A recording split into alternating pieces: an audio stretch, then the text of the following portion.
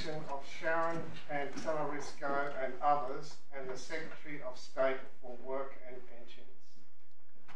My Lords, my Lady, Brown and Mr Donnelly for the Secretary of State, Mr Drabble, Queen's Counsel, and Mr Royston for the respondents.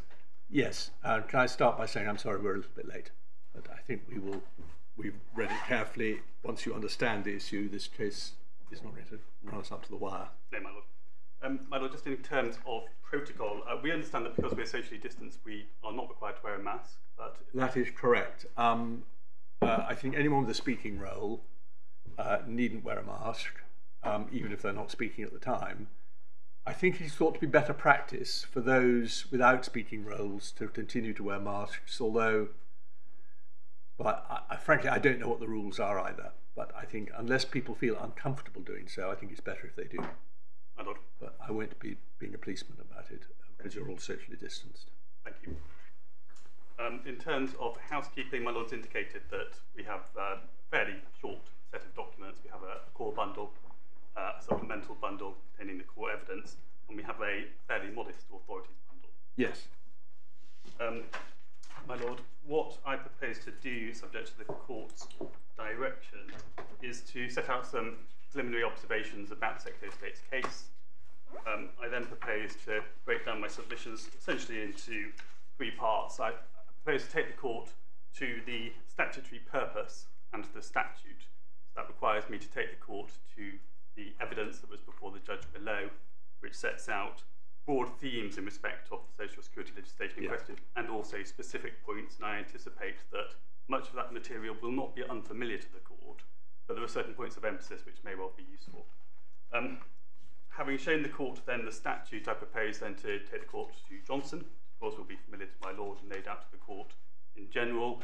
And Johnson, we say, is important in two respects. First, the, the observations of the Court of Appeal in general terms about the universal credit scheme and what the relevant statutory purpose is as identified by the court, and also more widely the test for irrationality that was established by the court in Johnson. Uh, thirdly, I, I to take the court then through what we say are the errors in the judge's reasoning below and why we say the appeal should be allowed. Um, my Lord, the appeal then concerns the proper interpretation of the Universal Credit Regulations 2013, and if I can just show you the court's order below, which encapsulates the issue. Um, so that is core bundle, please, tab 9.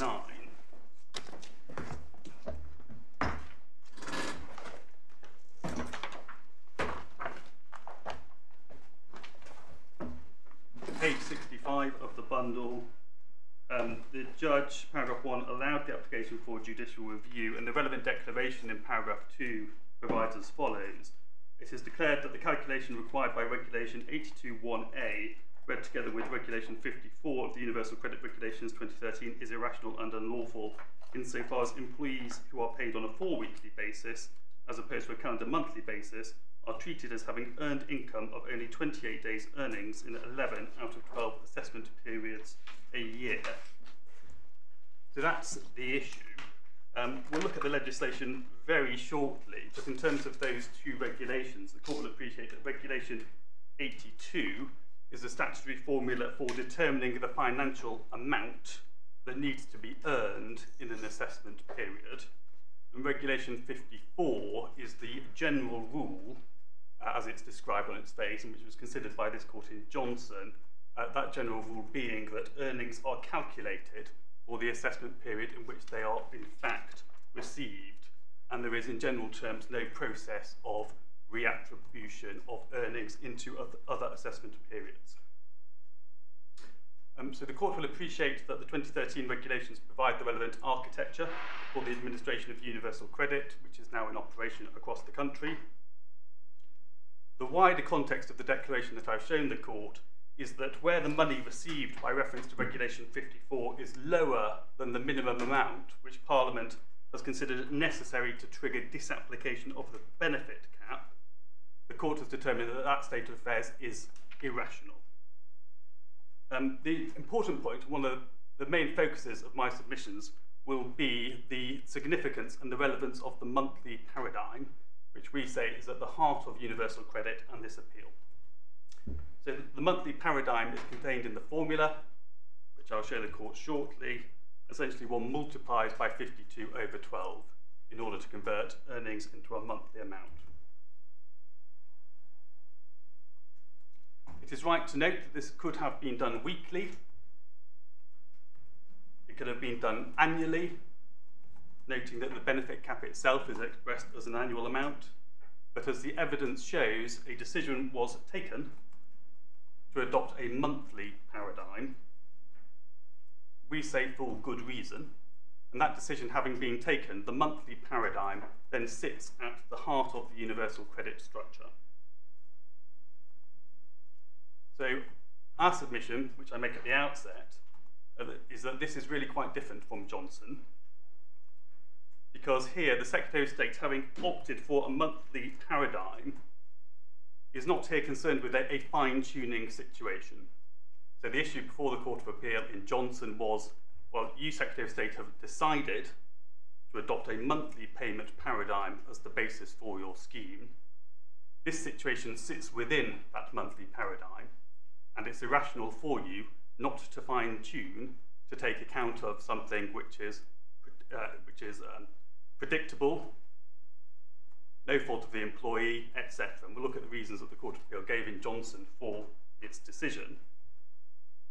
But that's Johnson. This case, and indeed all other regular payment cycles which are not the monthly paradigm, sit outside the structure that the Secretary of State has elected. So we say that that is a fundamental point of distinction because the Secretary of State at an early stage set face against accommodating different paradigms, i.e. 28-day payment cycles, fortnightly payment cycles, weekly payment cycles, any other payment cycle. You mentioned a good reason for the paradigm of a month. Can you just encapsulate what the good reasons reason was? Yes, absolutely, and I'll, I'll show you the, the evidence, but um, the statistics show that it's the most common form of payment cycle in the, in the labour market at the moment, so that's the primary reason. Calendar monthly is the most common. Calendar monthly, yes. Mm-hmm. But the word lunar monthly is it's a slightly difficult terminology because one would never see it in an It's employment convenient, but slightly inaccurate. Yes. Well, it's not inaccurate. It just suggests that it's got something to do with the lunar month. Indeed. It's got nothing to Yeah, do I did look last night and it didn't make any sense to me in the sky. Um, one understands the point, but um, certainly in an employment contract, one would expect to see it as a 28-day payment cycle as opposed to you are paid on a lunar month cycle. But I, I don't think it makes any particular difference. In, in answer to my, to my Lord's question, certainly the evidence shows that not only is it the most common payment cycle, but also the trend is moving away from other payment cycles towards a monthly paradigm. So the direction of travel is very firmly towards monthly payments, um, both in public and private sector employment. But also, and it's an important point that's um, set out in the evidence, it also reflects outgoings as well as incoming. So bills typically will be structured on uh, a monthly cycle, be it rent, utilities, and indeed all other outgoings. And so the Secretary of State's view is that by encapsulating all of this, all of these budgetary considerations into a single monthly paradigm, that does facilitate and, and enable people to budget more effectively. It's a, a macro decision. There will be instances, and I emphasise this, we accept that, there will be instances where uh, people, people's particular circumstances are such that they don't fall within the paradigm. And that in fact the, the, the general uh, proposition that budgeting is easier may not in fact be true in the facts of an individual case. But as a general, um, as a general objective, that's the reason. Thank you. Um, the, the court, it is right to note, did record, and this is at paragraph 43 of its judgment, at page 80 of the bundle, that the same considerations and the same logic of its approach would apply to anyone who is paid on a weekly or a fortnightly pay cycle. So we are not just concerned with a particular specific situation facing this particular respondent. We are talking about everybody who is on a different regular payment cycle. The most obvious are weekly or fortnightly or 28 days, but indeed it could be anything. Because, uh, as again, I'll, I'll show the court very shortly, the cohort that we are concerned with is a cohort of individuals um, in typical work and atypical work, and the species of atypical work are very wide and very diverse indeed. Yeah, well, hang on. Surely this particular form of the problem, I quite agree, except applies to weekly and fortnightly paid people. But we are concerned only with people paid what you might call regularly. People with irregular payments is a quite different different problem. Yes. And one which it is easier for the Secretary of State to defend. And clearly, the Secretary of State thought a lot about it, people with irregular payments and said, no, we must uh, we must um, focus on actual receipts and not a portion or yes. average. Um, uh, but they are really they're not what we're concerned with. We're concerned with people paid regularly, but otherwise than calendar monthly. And realistically, that just means multiples of a week. I've never heard of people paid every five days or the theory they could occur. No, but it's not inconceivable that one could have uh, somebody paid regularly but seasonally. So somebody who's, for example, paid only in May. June. Oh, I see. Yes. Uh, I was using regular to cover two different phenomena, both the pattern of payment and the pattern of work. Yes, and, and one could also have regular, for example, term time employment, um, and it's possible then there would be a degree of regularity, which isn't necessarily a, yes, I see.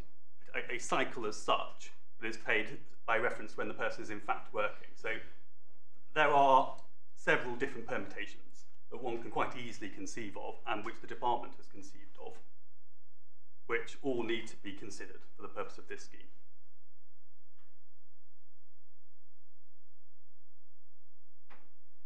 So um, we say that the, the paradigm and the consequences of the paradigm were obvious to the scheme's architects from the outset, and indeed it is common ground between the parties that the Secretary of State knew that there would be consequences for electing a particular monthly paradigm.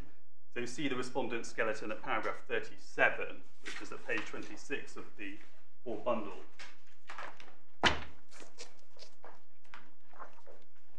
Which, par- which paragraph do you say? Uh, 37, please.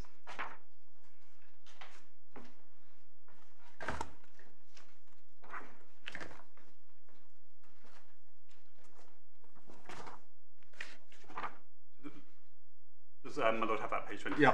So the respondents fairly accept that the Secretary of State understood in advance of the regulations being made the effects of the earned income calculation on calculations of the appropriate means related deduction to make from UC awards she recognised that her money received method would create for people paid on four weekly patterns oscillations in UC awards from one assessment period to another. Then paragraph 38 makes the point that that causes budgeting problems. We'll come on to that. But here, again, please note, this is quite different from Johnson because this is, in fact, the same payment 11 months out of 12, and then a very different one in month 12. So it isn't the Johnson situation where three, possibly four times a year, in a way which is only predictable with a fairly complicated calendar-based calculation, one sees the sudden sharp drop. Here, one sees, in fact, the same amount payable, 11 months out of 12. It's also a feature of the scheme itself rather than some external happening. Yes, indeed. it, it is a feature of the scheme. Absolutely so, my lady. Well, can I just ask that this part of our skeleton is contrasting the point made in 37 realization that there were consequences of oscillation and the point made in 39, not realizing at all the impact on the benefit cap calculation. uh, I'll certainly let, obviously, those ones make their point on that. We, we don't accept the submission that it was never appreciated that one of the many consequences of there being this particular monthly paradigm is that it wasn't un understood. I'm bound to say this is slightly a debating point. I remember we had it in Johnson, and my recollection, yours will be better than mine. I, I should have rechecked the judgment, but my recollection is that it was a bit equivocal, the evidence about whether the Secretary of State actually had appreciated that there was a banking, non-banking day shift problem. I think the evidence was that somebody somewhere in the department had noticed it, but it's not clear it ever fed into the policy making. But anyway, it really ultimately doesn't matter very much. The crucial question is, as I understand it from one of your submissions, is that this was fundamental to the structure which was adopted as part of the philosophy of the legislation. To say that it was irrational because it had this consequence would be very different from saying that the failure to deal with the blip, rather particular kind of blip, in Johnson was irrational. And that would be so, really, whatever the history of the decision making process is. It's a debating point for you if you can show the Secretary of State thought about it and reached a considered decision, because that makes it constitutionally more difficult for us to say that they were wrong. Um, but ultimately, it's got to depend on objective rationality, hasn't it? Yes, absolutely so. I, I, I don't disagree with any of that at all. Um, so, uh, I suppose the, where it becomes a debating point is that respondents say, well, you didn't use the words benefit cap in your decision making process, so that demonstrates that you hadn't appreciated the Ms. Pantellerisco consequence. Yeah. I mean, the debating point the other way is that if you didn't think about it, well, perhaps it's the, uh, that just shows it was overlooked and can easily be put right. But Well, uh, could potentially be put right. yes, all right, they're Um, separate points. But you didn't think, yes. Yes, I mean, but here, um, did the Secretary of State carefully consider the, the fundamental issue, which is to adopt a paradigm which is going to work, uh, or is going to be congruent with monthly payment cycles and monthly outgoings, but not congruent with other payment cycles? Yes, you plainly did. That's at Yeah. the heart of everything. So th- th- that is really what drives all of this, and that's why I started with the court's order below to make it absolutely clear that this case unlike Johnson, is a challenge to an, a decision which was at the forefront of the scheme design. Um, and it is no answer for the respondents to say, well, don't worry, because what we really mean is you just disapply the benefit cap or something like that, because the answer to that is, well, Parliament's decided how the benefit cap should apply. It's a fixed amount of money receivable in an assessment period, not 16 hours a week of work or anything like that. So it's simply not open for the respondents to say, well, we don't meet the minimum um, income amount, but you should just disapply anyway, because that then runs contrary to another uh, decision that's been made, or made by Parliament, which is to fix the benefit cap at a certain level, and it's a financial level. We'll, we'll come on to that in a moment. Um, just then to make good the points about the, the centrality of uh, assessment periods and the monthly paradigm, I propose then just to deal with the statutory purpose and the legislation itself. Um, so, just to clear the decks, it is common ground in this appeal that the benefit cap, of course, is lawful and applies in the way that Parliament has prescribed in the legislation. And certainly a point that was pursued below, perhaps not on appeal, uh, was to look back at the earlier iteration of the benefit cap and say, well, one can see from the earlier version that Parliament had in mind that if somebody works 16 hours per week, as this claimant does, the benefit cap should not apply to that person.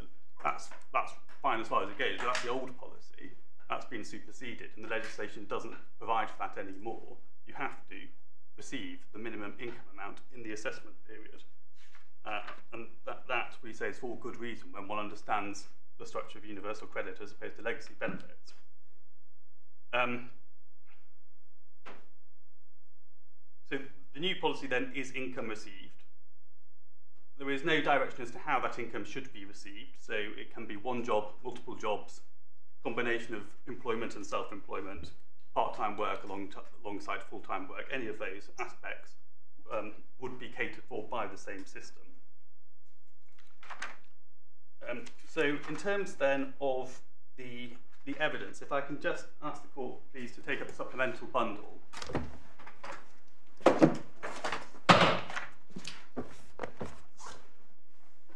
Propose to start with Ms Crappe's evidence and show you the Ms Hargreaves. And that's all I propose to show you in terms of statutory purpose.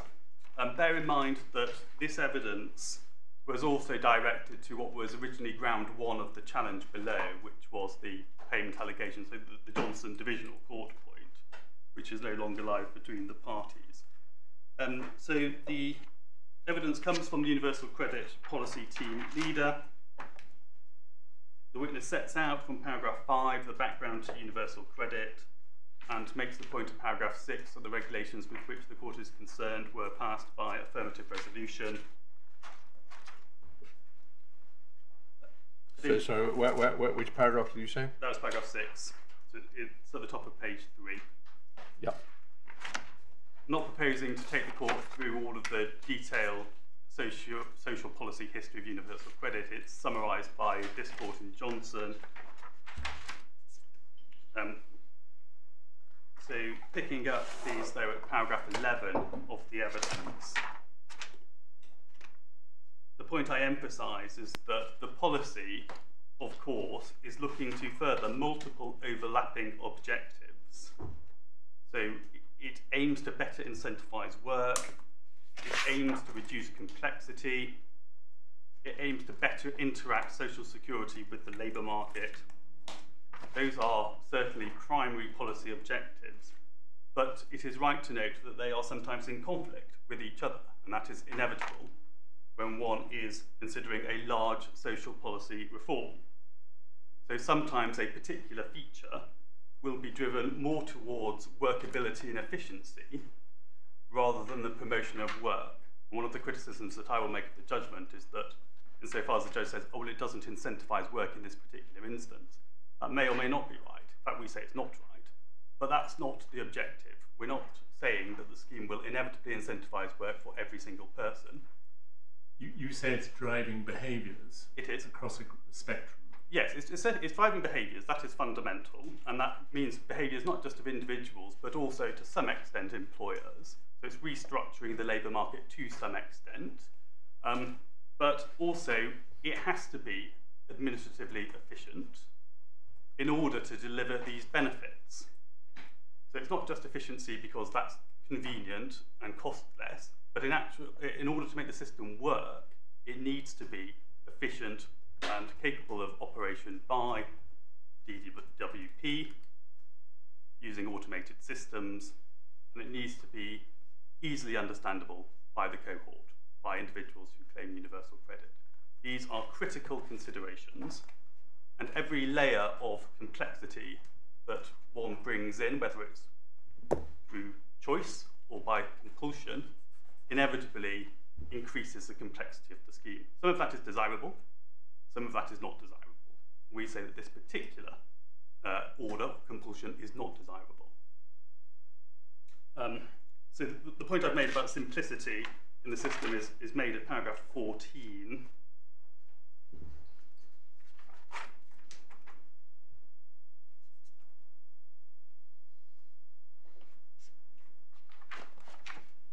And paragraph 15 uh, summarises then the policy objectives. To repeat some intention with each other in some circumstances. Then paragraph 17, how in the Secretary of State's view does one achieve all of these objectives? Well, at the uh, heart of everything is the, the proposition that uh, the calculation is based upon earnings in the assessment period. Paragraph 17 makes the point that that allows for the dynamic response to changes in circumstances, because if one's income is reduced by reference to a monthly paradigm, that allows for universal credit to increase immediately in response to all of that. And that's earnings received, not earnings earned. Um, earnings received, yes, so it's, it's money received. Come in. Usually it's the same thing. We, well, it's a debate we had in Johnson about what earnings means and apportionment and things like that. But um, it, it, it is earnings received. Um, then paragraph 20, monthly assessment periods. Here the witness then sets out the Secretary of State's response to the, the particular point. So noting that this concerns four weekly pay cycles, and the witness says in paragraph 21, the calculation of UC in each monthly assessment period is a cornerstone of UC policy. All changes that occur in the assessment period are applied to the whole assessment period and each policy consideration is looked at across the assessment period, such as inclusion of disability elements, child elements, childcare, carers elements, conditionality arrangements, treatment of income, capital deductions, etc. In paragraph 22, the assessment period is calculated as a calendar month. A calendar monthly basis is used as is considered to best reflect the most common payment cycles, whether in terms of income, such as salary, or outgoing, such as bill payments. Paragraph 23, the objective of workability and efficiency requires the same structure to operate for the whole population, notwithstanding that there are, of course, different types of payment cycles, such as irregular pay or weekly or lunar monthly pay. And I, I take my Lord's point that, in one sense, irregular pay is not properly described as a, as a cycle, but one sees the point that the witness is making, that this has to capture everything. So here, the priority is workability and efficiency, see paragraph 23, in terms of the overall objectives. And in paragraph 24, we say that makes clear that the Secretary's judgment is underpinned by logic and by an evaluation from specialists within the department about conditions in society and the labour market.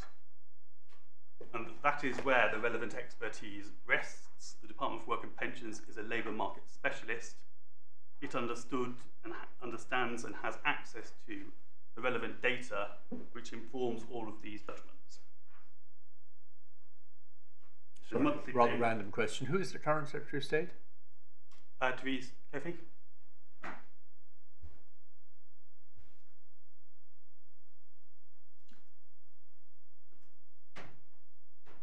And the, the points then that are made by the witness are the points that I've already indicated. So monthly payments are the norm. Paradigm assists with budgeting in the Secretary of State specialist view.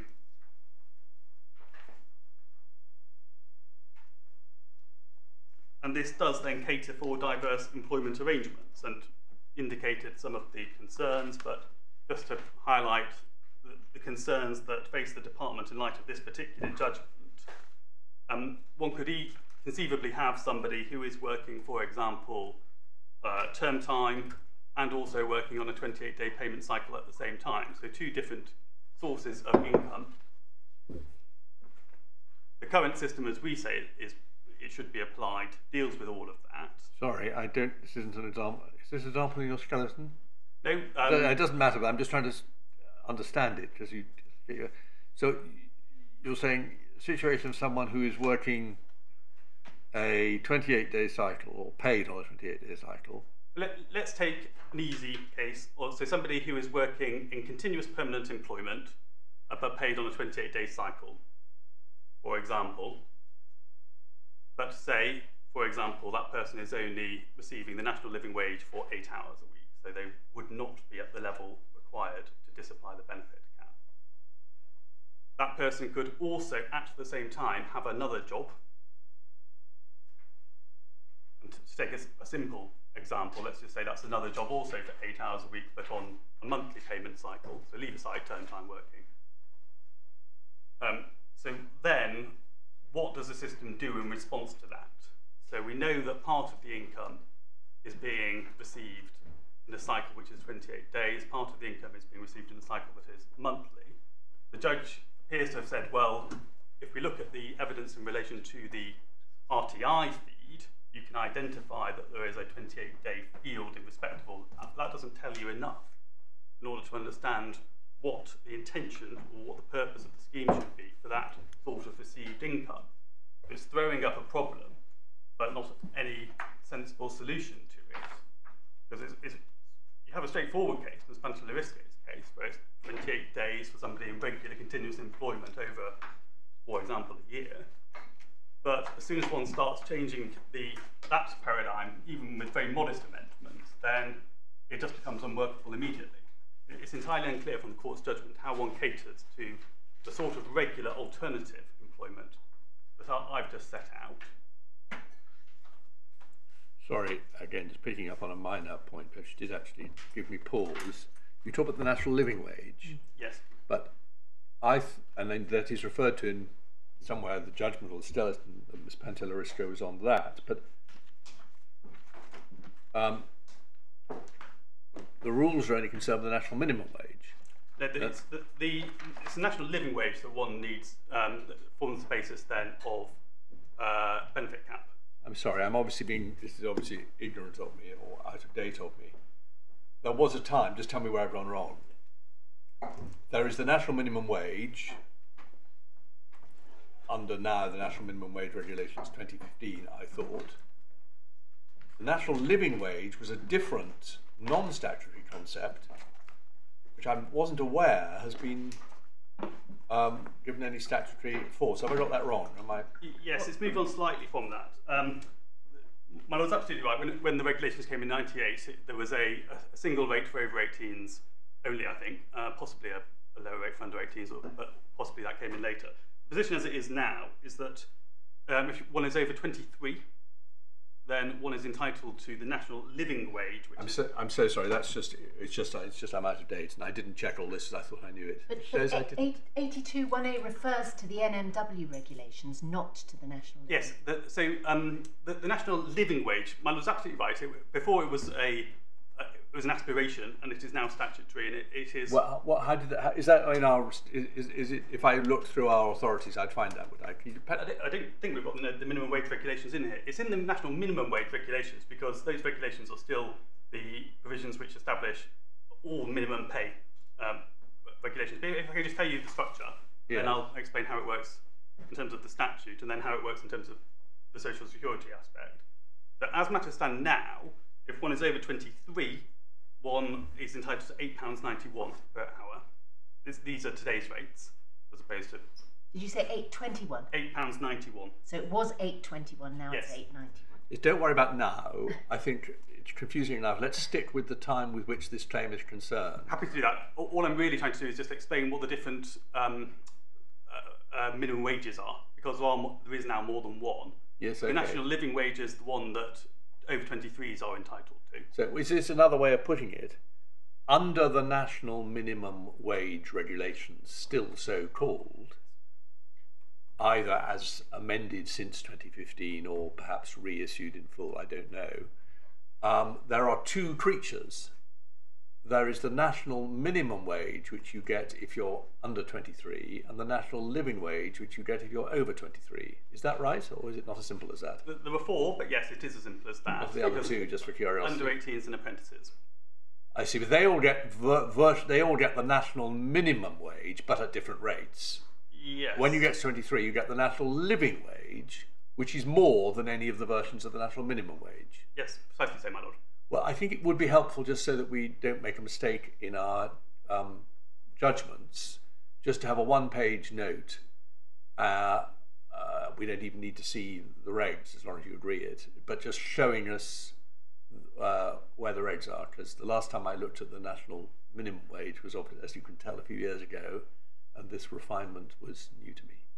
Yes, I think the refinement is, believe, terminology because I think even at the earliest stages there was always a higher minimum wage for people over a certain age, but I think that's been tweaked a bit along the way. It's literally just. Uh, are you sure about it? It doesn't matter. But anyway, the national living wage is now not just a political concept; Correct. it is a statutory concept. Well, there you are. Yes. learned something. Um,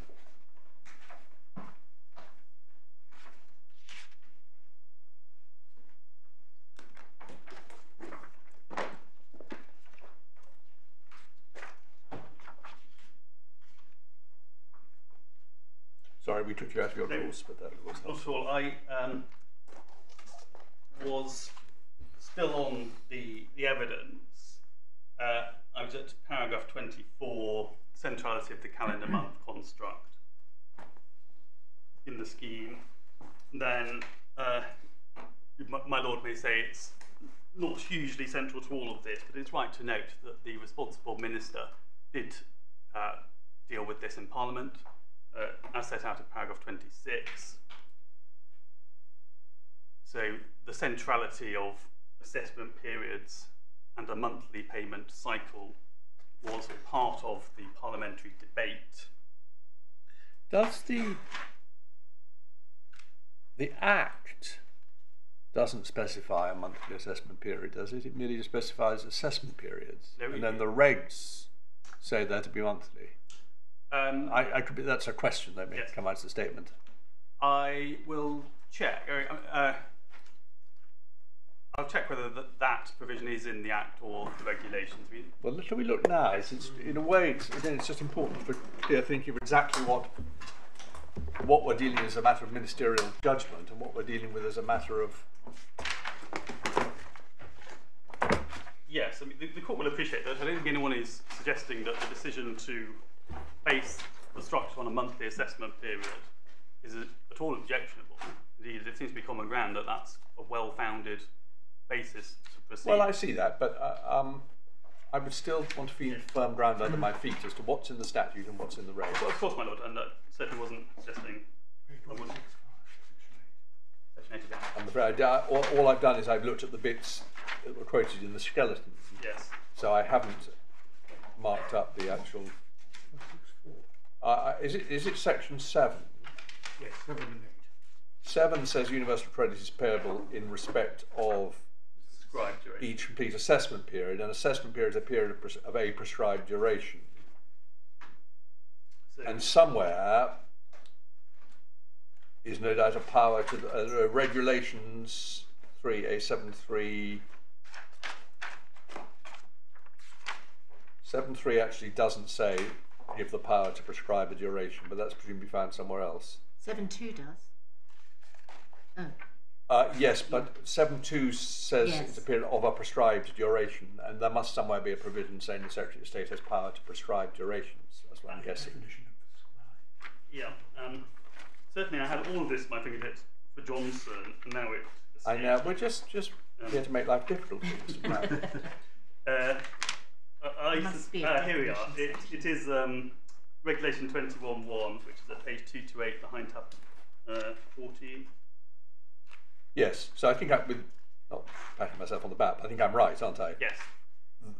The Act left it open, whatever the minister may have said in Parliament, which was uh, that the passages you're referring to are uh, the bill, and I dare say he, they always knew what the regs were going to say, but actually the bill didn't commit them. The, the bill which became the Act didn't commit them to monthly assessment period. Yes, That's absolutely right. So all, all of the actual architecture of universal credit is contained in the regulations. And lastly, your junior will do this if you're at your fingertips.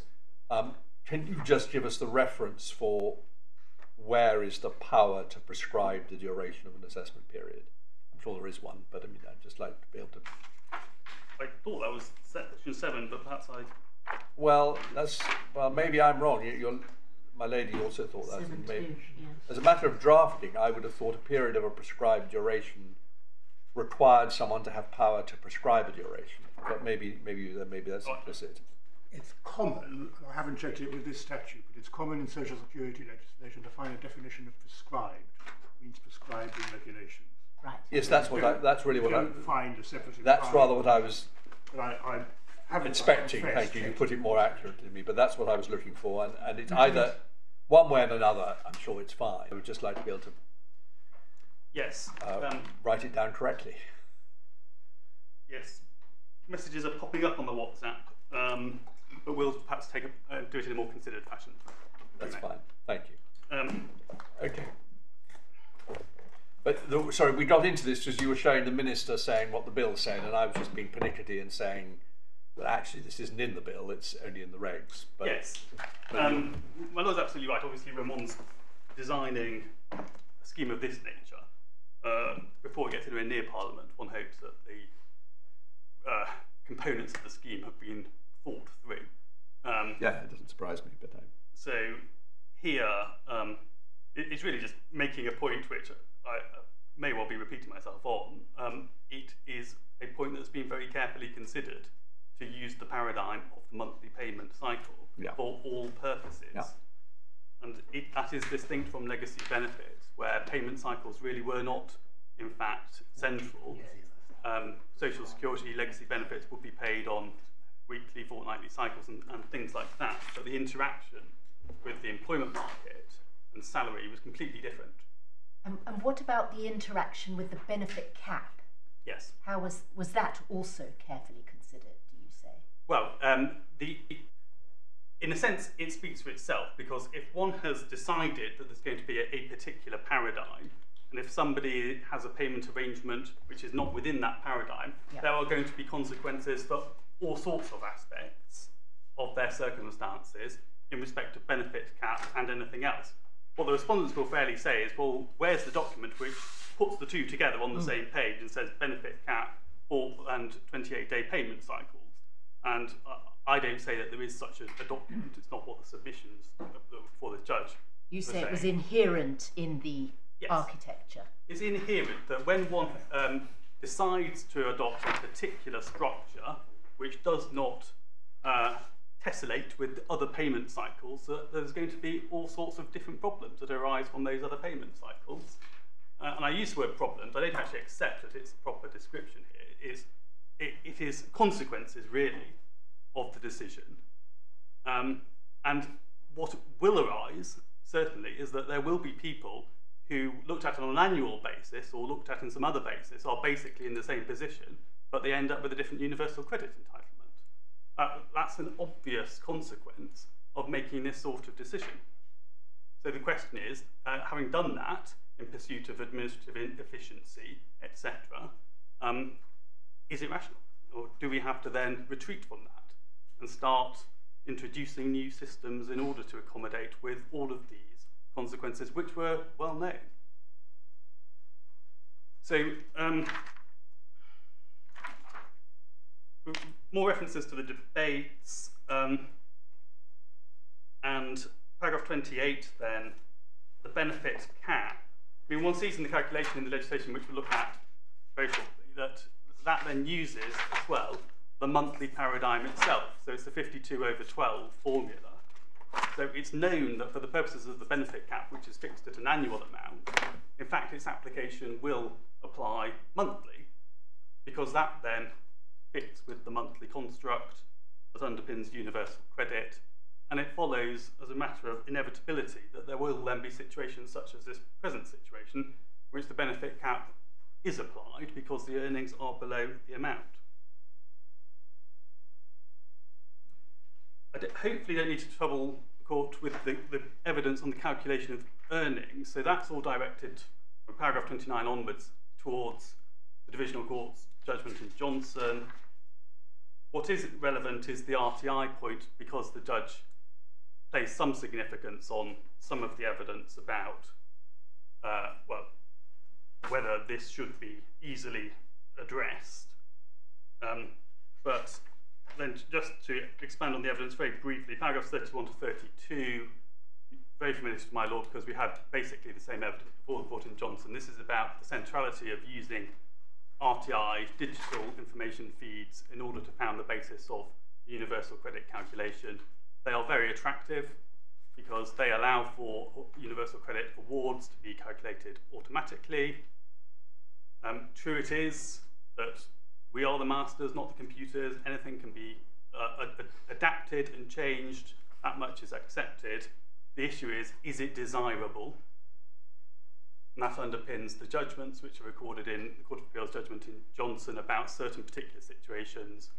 There one sees reference to Jacob disease and the Manchester Arena bombings and things like that. You can add in these layers of complexity for good reason, but there really does have to be a good reason for it.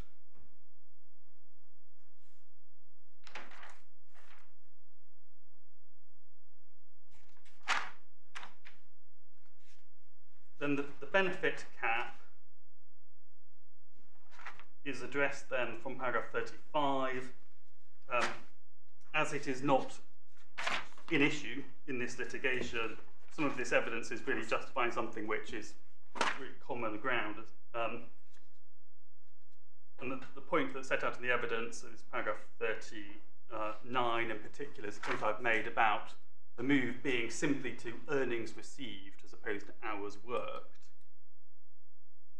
So I'm really just emphasising the fact that working 16 hours a week is, is neither here nor there when it comes to universal credit. Because one can disapply the benefit cap for working fewer hours at an increased wage one can um, you know, one looks to the, the monies received, not the hours worked. So that is the contrast with the previous iteration, which is important.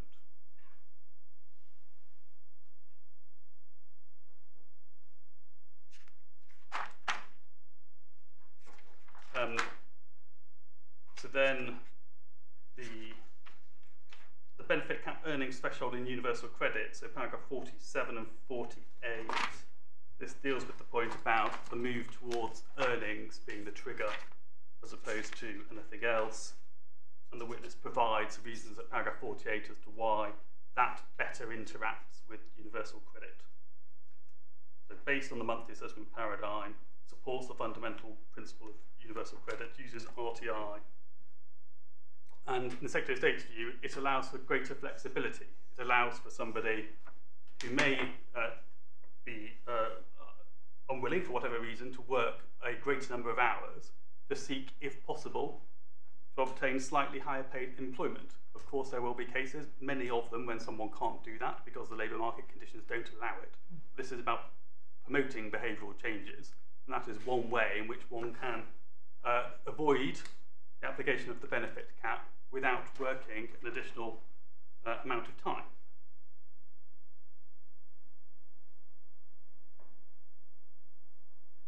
In paragraph 49, the witness properly recognises that doesn't work for everybody, but it's not designed to.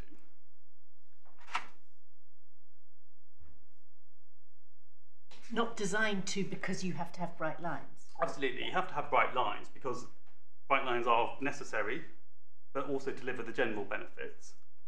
And uh, in any event, that there is the slow behavioural change aspect to all of this as well. I mean, not designed to is perhaps not quite what you mean. It is designed to, so far as possible. yeah, yes, indeed. Yeah, And, and the re- you just acknowledge there'll be some people who can't work the extra hour or persuade the employer to weigh above the NMW or NLW. yes, Um, they can, but this is, or, but this is, I suppose, strictly speaking, a different point. Uh, persuade the employer to move to monthly payment rather than 28 day payment, which is actually what's happened in this case, we see from a footnote. Uh, well, here my understanding is that it's different employment. A different employment, sorry, yes, Yes. but but but at the same rate and for the same hours, but paid. Is it sorry, Mr. Drabble? Since I've interrupted, have I remembered your footnote Yes, correctly? uh, It uh, whether it's the same Exchange job. Sorry, yes. Exchange jobs. Uh, he's getting the same money, but it's a different pay cycle. And for the same hours. Consequently, she's not capped. Yeah.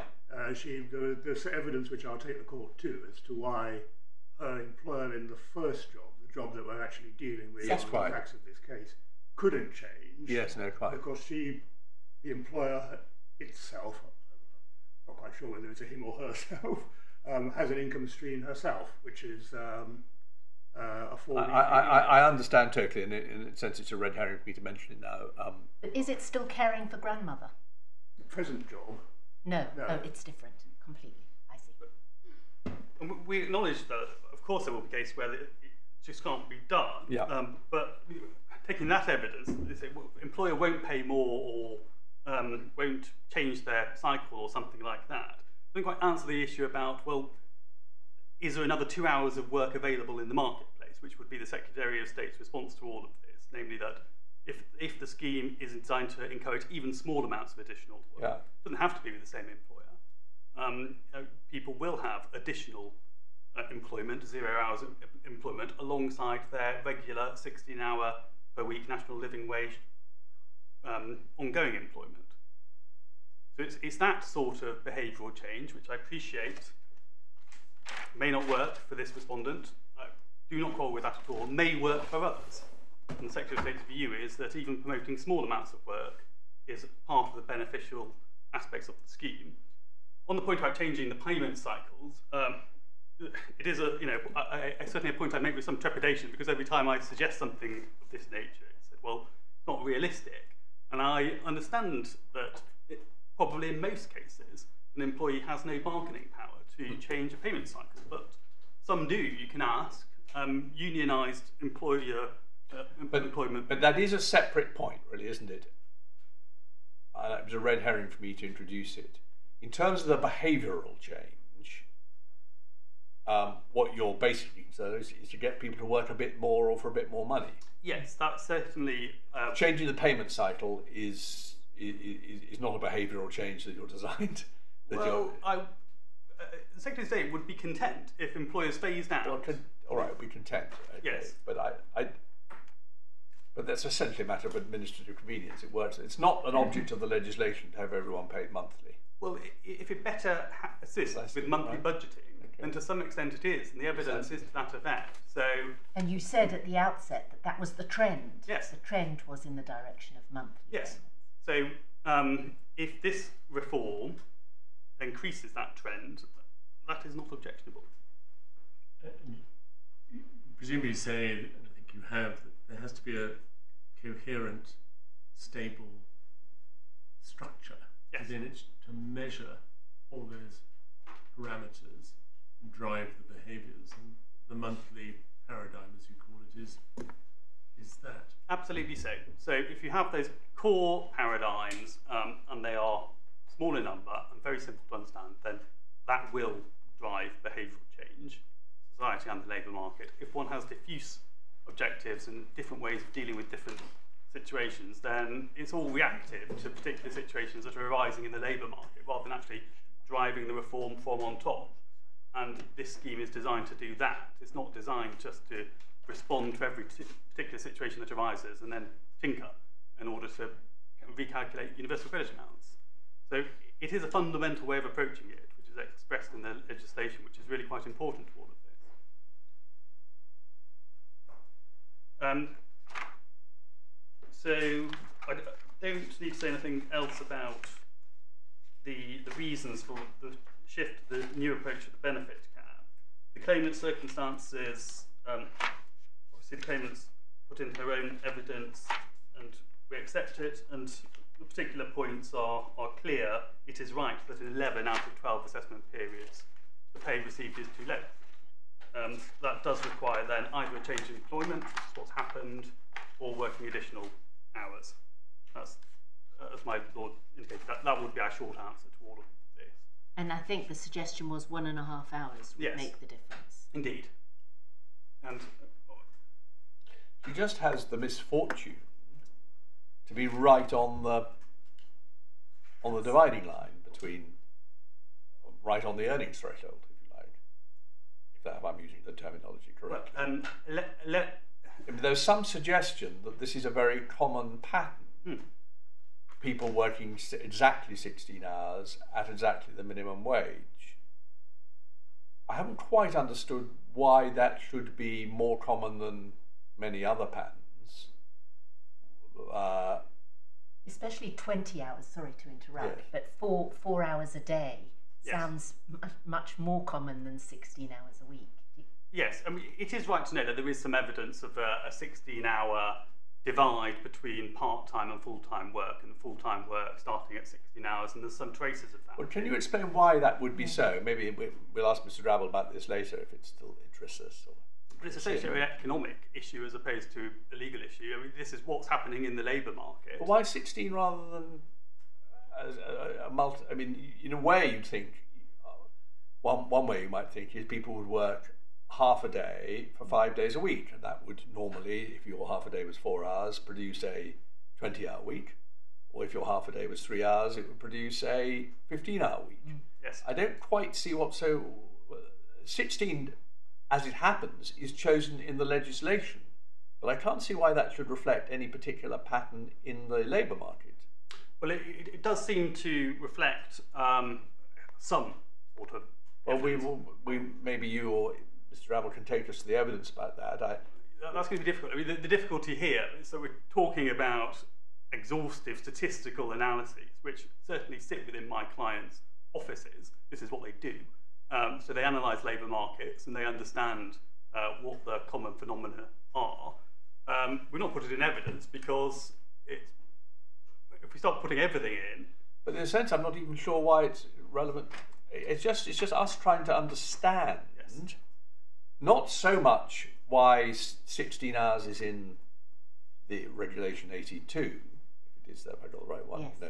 Yes. well, we, we say it's, it's, it's not as such. I mean, what it, it- it's in there as part of a formula to right, but why that figure is Yes. chosen for the formula? yes. I mean, that's quite interesting too. But I'd like to point out why should it be a particular pattern that is encountered? My point really is this: wherever you have a dividing line, you'll have people falling on either side of it. It's perhaps slightly unfortunate if your dividing line is one which corresponds to something that's incredibly common in the labour market, untypically common. But I can't quite see why 16 hours a week should be untypically common. Why should it be more common than 15 hours or 17 hours, or as my lady says, 20 hours? It's just, it's just a. But the dividing line isn't the 16 hours. Uh, the dividing line here arises because of the 28 day payment cycle, which is not a, a common occurrence, or at least isn't the paradigm.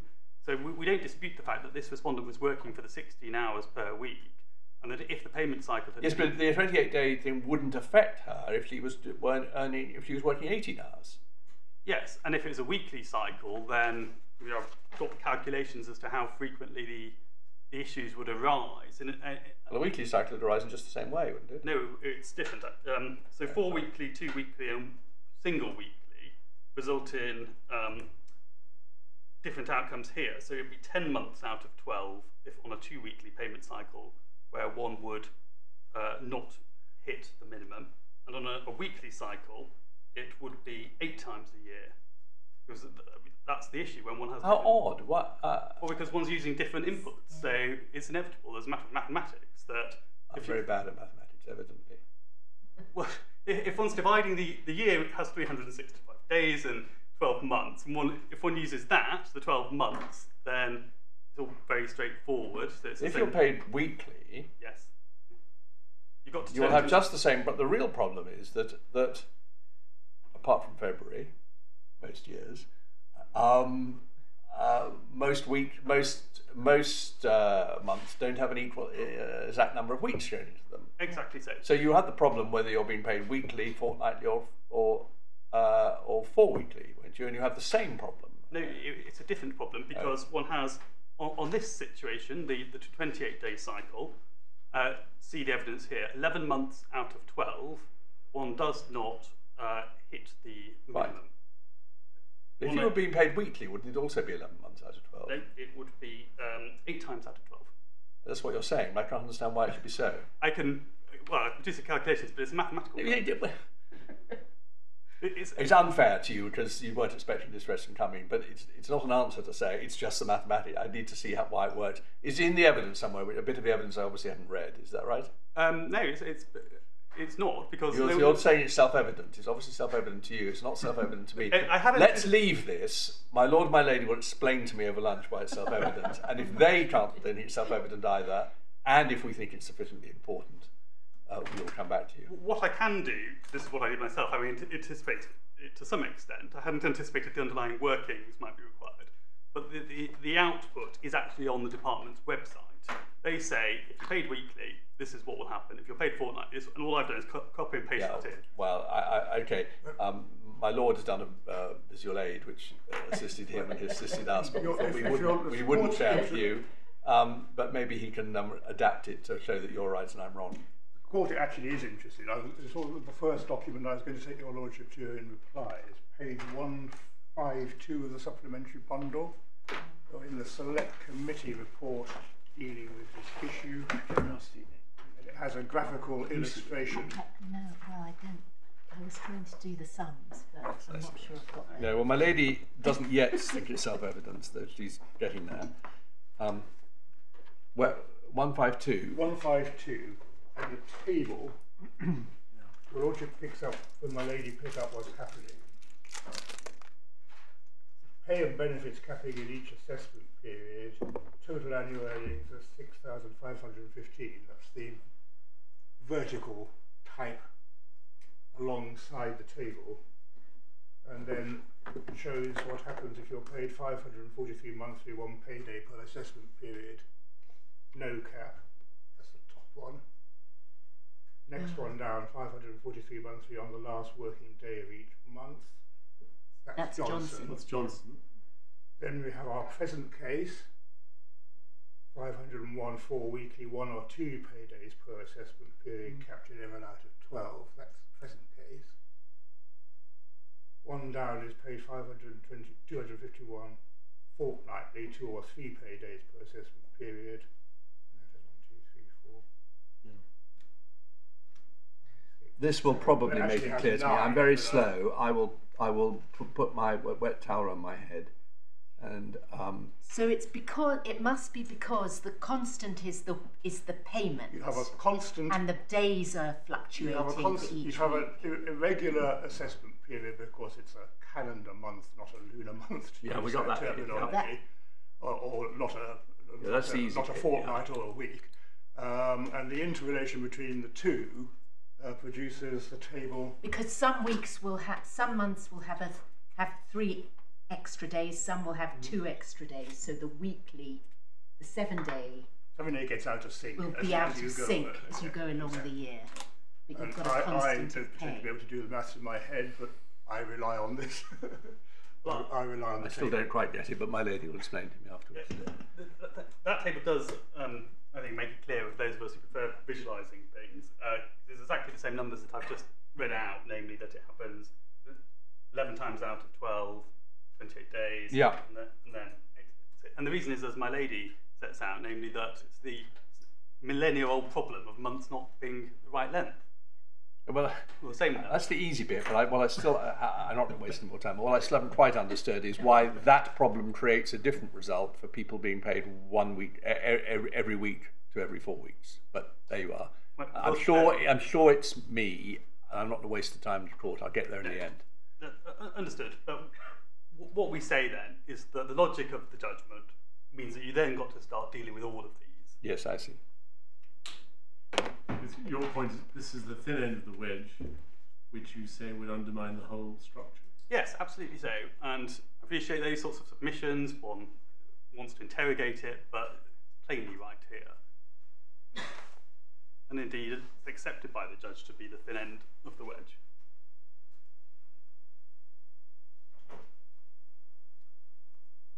Um, we've, I think, covered a lot of the legislative material. Uh, what I was proposing to show you, uh, happy just to indicate what the relevant regulations are, but perhaps we will need to just look at the benefit cap provisions. There's tab 14, the authorities bundle. We've looked at regulation 21 in respect to the assessment period being the month. And then regulation 54, which is at page 228, is the provision that was determined matter of interpretation by this court in Johnson, i.e. no reconciliations and things like that. And it's regulation 79, page 229.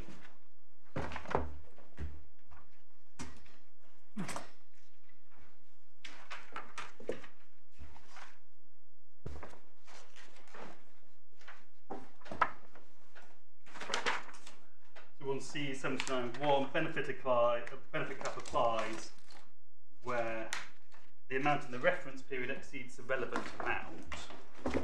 And 79.2 the reference period is the assessment period. So the point there is that although the benefit cap is an annual amount, in fact it applies on a monthly basis. So that requires calculations.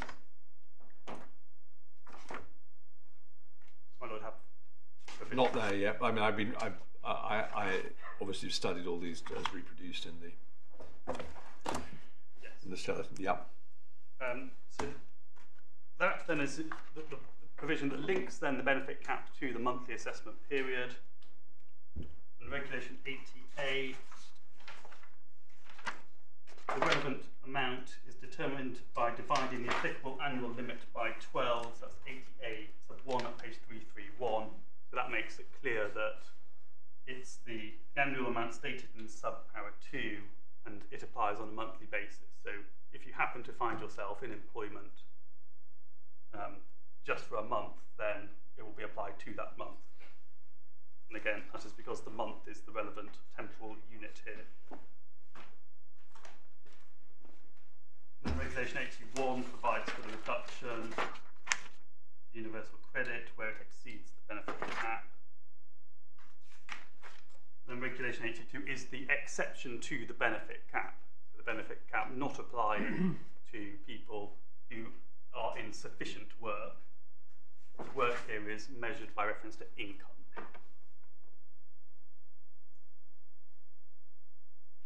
And just something we touched on, but I made it clear I wasn't at that point interested asking about is is there evidence anywhere, and you may say it doesn't matter, as to why these particular number of hours, 16 hours per week, were chosen? The, uh, this is perhaps the, the point that the court was exploring with me before. So, what is the, the significance of the 16 hours? Well, it's a slightly different point, but still, it is yes, a related um, point. and I have pledged to try and get back to you on that rather than seeking to do that on the hoof. No, that's fine. It, it, it, it, it's it's background, but it's just it's to make one feel more comfortable. I've understood it. It's not. A, I appreciate um, fundamental to the issues in the case. Yes, we, the, the respondents would say that it is a. But to, just to be clear, you said it, there are two points. One, why is it the case that apparently 16 hours per week is a particularly common pattern? Two, why is this particular figure chosen in 82.1a? They are separate questions. They are, but to some extent they'll inform each other. They may or they may not. There might, there might be several. Up to you, but there, there is evidence that 20 hours per week is also a particularly common pattern. Why did you choose 16 hours rather Yes. than 20 hours? I understand in, entirely the point, and it's Yeah, okay, fine. I just didn't want there to be any misunderstanding as to what was interesting me. Um, so in terms of regulation 82 then, uh, it is a, a formula, so a mathematical formula, and it converts to a, a financial amount as opposed to anything else. So the hours is background, it's factual matrix, it's important, but um, Parliament has decided now that you look at money received. It's critical here. Um, Johnson then is my next port of call, which I can take probably about 15 minutes. Uh, so tab five of this bundle.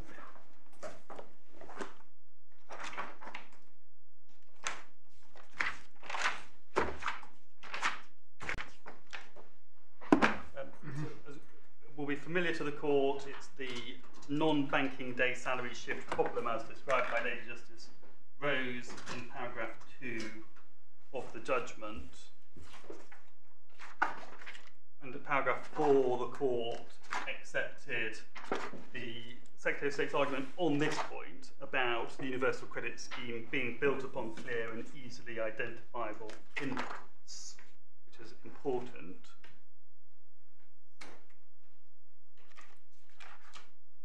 And the court then sets out the legislation. Sorry, which, which four's a long one. Yes. It, it's some, which is the particular Yes. sentence you or passage in um, mind? The submission of the Secretary of State is just below D, which is ultimately accepted on this point. The SSWP appeals to this court, arguing that the divisional court was wrong. Oh, I see. Sorry, I thought you were saying that the Justice Rose had at this point accepted that. that that's accepted later. Accepted later. I'm sorry. Yeah, yeah. No, no, point- that's fine. Yep. Yes, the point was accepted, not at this point. This is not the operative. Yep. Um, so the court deals with the legislation. Makes some of the points that the, court has raised this morning. So the statute is, as legislature puts it, an open textured statute, and that's right. And all of the, the building blocks are contained in the regulations.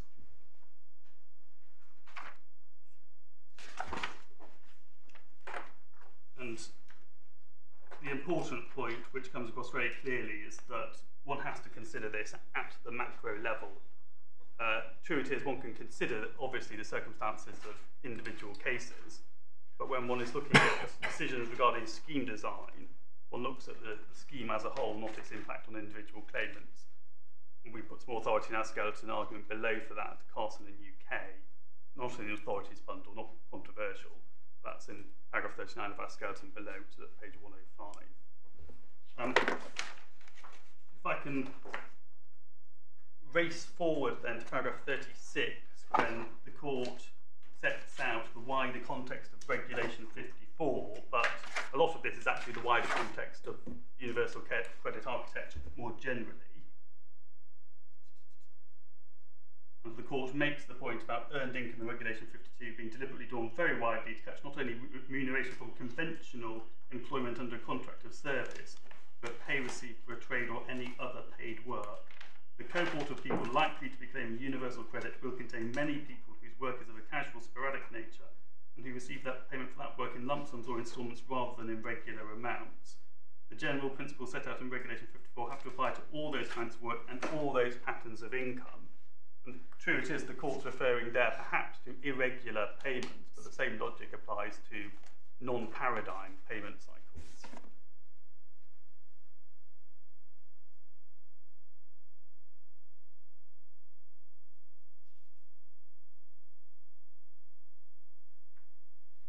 Then um, over to paragraph 40, the point which we say is of significance, and the Court of Appeal rightly had it in mind in Johnson, is that automation is relevant here to ascertaining the intention of Parliament.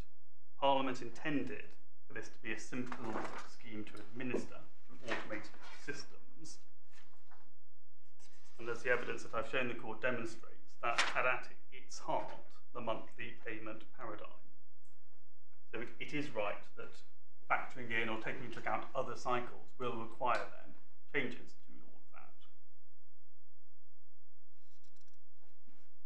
that. In paragraph 47, um,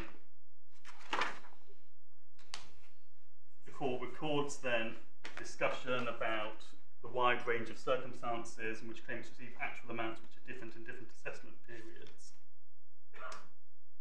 Makes a point specific to Johnson about what that means as a matter of interpretation.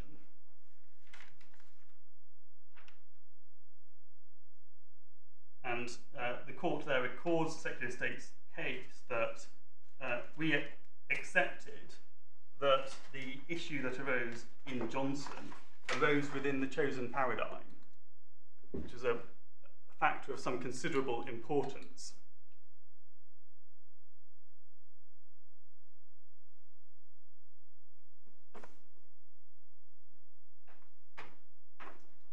irrationality, uh, so the test that the Court of Appeal set out is, of course, uh, accepted in common ground. Uh, it is right to note that it is a high threshold. The way that the court put it at paragraph 50 of Johnson is important. So having set out the relevant authorities, the court says we need to consider what are the disadvantages of deciding not to fine-tune the regulations, thereby allowing the non-banking day salary shift problem to persist unresolved. This isn't a fine-tuning case at all. Pantellerisco is not about fine-tuning. This is about the known consequences of a central decision. One can see that if one is talking about fine-tuning, that really shapes the approach of the court towards the Secretary of State's case. I mean, what possible justification can there be for not fine-tuning? On the facts of this case, there was none. In Pantellerisco, it's really fundamentally different.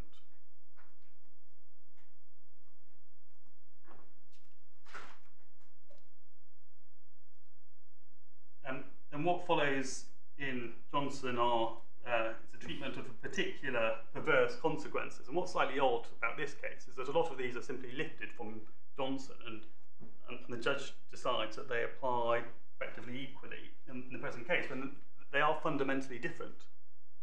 So Johnson and the, the oscillation issue arises because of the non-banking day shift in a certain number of occasions per year. Here it said, well, we've got the same oscillation problem because one month out of 12, there's a different payment amount from the other 11 months. And that is not properly described as oscillation at all. It's certainly a very different type of oscillation from that which was before the court in Johnson.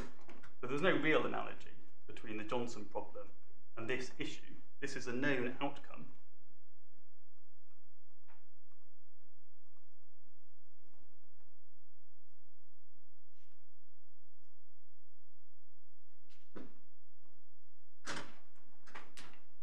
There's also the important distinction about the interaction with the work allowance and the effect of Johnson is that it effectively, uh, I think the language used by Mrs. Johnson was it confiscated part of the work allowance, which is an important part of the universal credit calculation for people in her situation. And accepting that description as we do, that was the outcome of Johnson.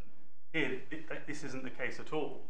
There's no confiscation of something which is otherwise envisaged by the legislation.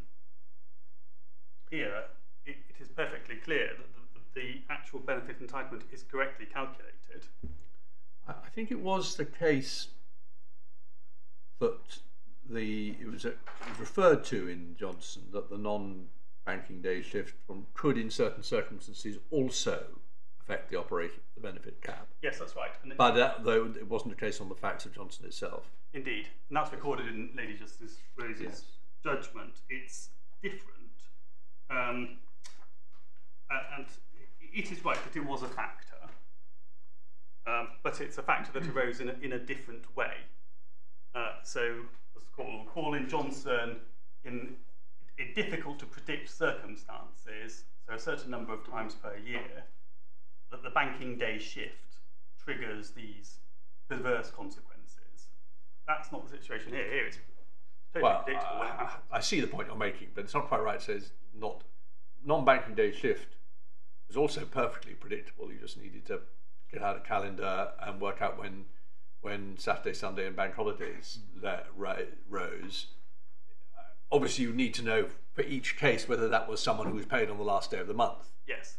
Um, but once you knew that, you could predict exactly when those people would be affected. Y- yes, it's particularly in the sense that one can do that, but it will then be different months every year. Yes. One, no, okay. And uh, the Easter analogy is one given by the court is absolutely right. One can go out forever into the future and work out every single month, but it won't be um, January, March, May, and July of every year. It will move around. Um, so that's the difference, or at least one of the differences. It, it doesn't really matter because this is a different case. Yes. Um, in terms, though, of the specific points, so the, the, there's oscillation and the work allowance. Um, in terms of the legal analysis, though, uh, if one can pick it up from paragraph 68, the way that the court approached it was really to scrutinise the reasons that were being advanced as to why the Secretary of State wasn't responding to something which she accepted could properly be described as a problem, as opposed to simply a, a consequence of the chosen paradigm. And there, it was important that in no sense did the decision not to do anything further the policy of universal credit. So that particular um, point was, uh, was not available to the Secretary of State. The Secretary of State wasn't saying, well, if I don't do that, that will produce behavioural changes, which I think is a, a good thing. Here, it is very much the Secretary of State's case that choosing the particular paradigm and not allowing for alternatives to it does deliver the behavioural changes that we, I've discussed with the court, which are set out in the evidence. So you're not quarrelling with the approach. You, it was right to scrutinise the Secretary of State's response, but you say here it's uh, qualitatively different. Absolutely so. Here it stands scrutiny, it didn't in Johnson. That is the fundamental difference. So But here, here, it what scrutiny? Here, it, it, with, it withstands Yes, legal scrutiny, um, because it is right to note, and the respondents will take you to the fact that the Child Poverty Action Group have raised all of this with the Secretary of State, and the Secretary of State has fairly said, well, I, I see the point, and I am thinking about that. yeah. and she is. Um, but that doesn't mean, though, that having uh, agreed to, to do, consider it, that the court can then compel her to do It means that she will she will have to make a policy choice weighing the greater complexity against the adverse effects of the present yes, and system, and that's that's her her choice, not ours. indeed. And as matters stand, her, her decision is not to induce the, introduce the complexity that would be required. Yes. Um, Can you just remind me? Um, perhaps I never even knew. Was uh, was a application for permission to appeal made to the Supreme Court in? Yeah.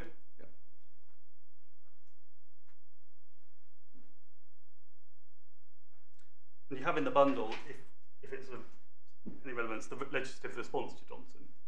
So uh, there is a response set out in the legislation as was necessary in order to give the decision maker the power to do what was required. Um, may be relevant, it may not. My Lord will recall that part of the issue is well, what, what's it going to take to actually do all of this? Yeah. in Secretary of State's case is that there will have to effectively be a reconciliation process carried out by a, a Department of Work and Pensions decision maker. And, and that's what happens, and that's what the legislation provides for. But um, it appears that things have turned out fine. Um,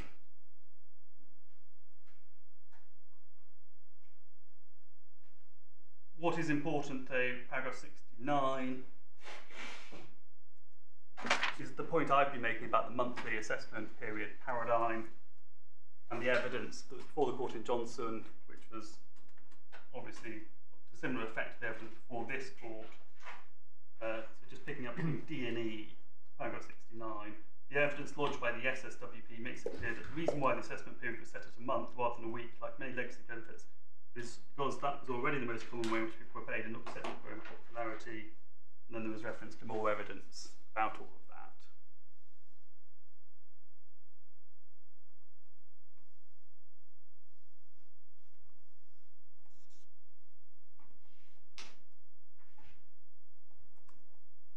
In paragraph 70, the monthly cycle of assessment periods was therefore chosen specifically because very many claimants would be in the same position as the respondents, paid a regular salary and receiving that salary in monthly instalments. It's not right to say that there is no significant connection between the choice of a monthly assessment period cycle and the fact that many claimants are paid their salary monthly. It would not be inconsistent with the overall universal credit scheme to devise an exception to solve this problem.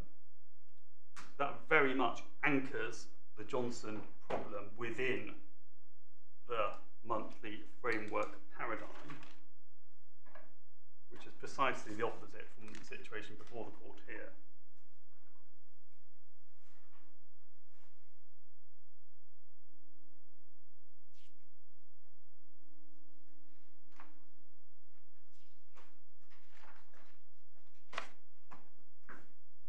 Then bright lines, uh, bright lines to some extent is accepted in general terms. Everyone agrees that bright lines are important, particularly for this sort of system. However, not quite good enough on the facts of Johnson because of the particular nature of the issue. And paragraph 73 has reference to the the complexities the Secretary of State has consciously decided to introduce. That's where one sees the lack of disease and the Manchester bombing situation, all of those being, of course, deliberate policy choices, ad hoc bespoke exceptions to the rule.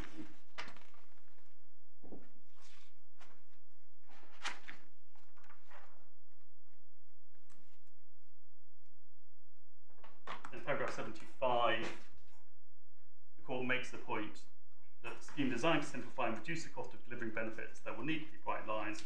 I agree that there will often be hard cases with people falling just on the wrong side of the line, where their needs and circumstances are otherwise indistinguishable from those falling just on the right side.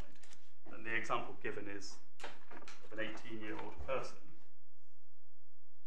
As it may well be rational to introduce such a requirement on the ground that the benefits outweigh the disadvantages arising from those bright lines. My judgment, those situations are readily distinguishable from the significant predictable but arbitrary effects on the benefit of a regular monthly salary, which frequently falls into different assessment periods because of the non-banking day salary shift. And here, all the respondents can take from that is the, the regular point, which is one of their main points, one of the judge's main points. Say, well, we too are in a regular payment cycle. But that is known. It's, it's just the different regular payment cycle from that which is at the heart of this scheme.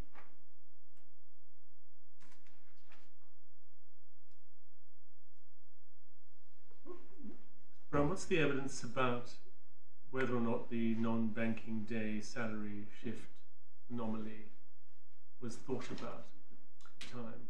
In Johnson, I, we fairly conceded that that was not uh, really. Just, it was just overlooked or not? Well, it, uh, it was one of those things that happen when one introduces a macro benefit scheme, and um, and it, it's caused, of course, by employers as opposed to necessarily anything that the state in designing the scheme has failed to do.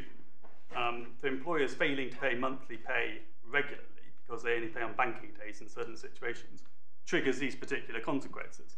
Now, it is right that because the department's taken to know everything about the labour market, it probably could have worked that out, but it was effectively not a foreseen consequence at all.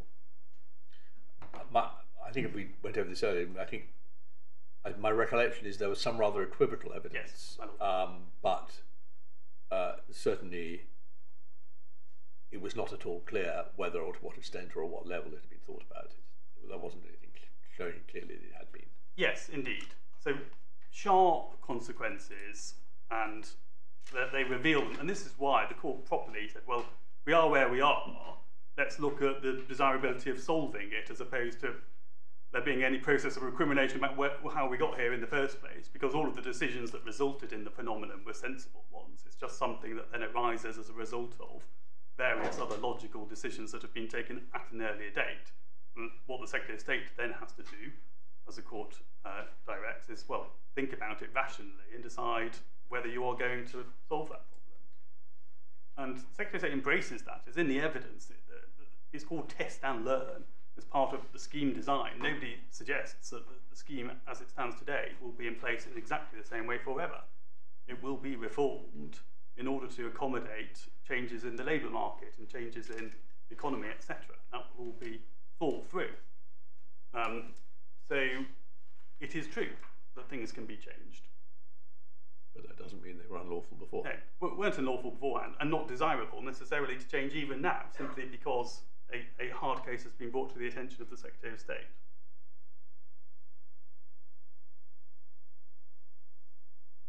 Automation is addressed by the Court of Appeal at paragraph 77. And the significant advantages of automation are highlighted over the page at 136 it saves money and you can recycle that money into paying welfare more generally.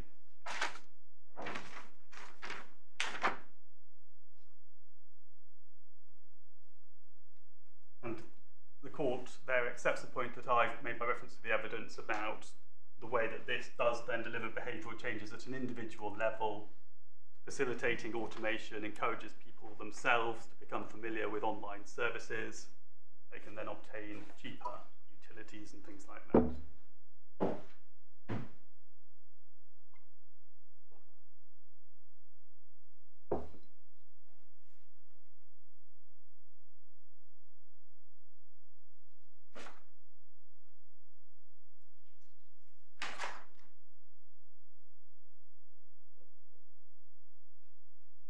Then um, paragraph 81 the court does emphasise, and we say for good reason, that um, it is only concerned with the particular problem before it, and not making an exception for people who are paid at frequencies other than monthly. So the court acknowledged, uh, because it, frankly, Pantellerisco was part of the discussion before the court in Johnson, that there would be other similar types of outcomes in the sense that you would have two people in otherwise identical purposes, but one particular nuance of their arrangement results in a different universal credit amount. One of the illustrations that we offered to the court was the Pantellerisco case. Um, and the, the court properly emphasised that it is only dealing with a very particular phenomenon.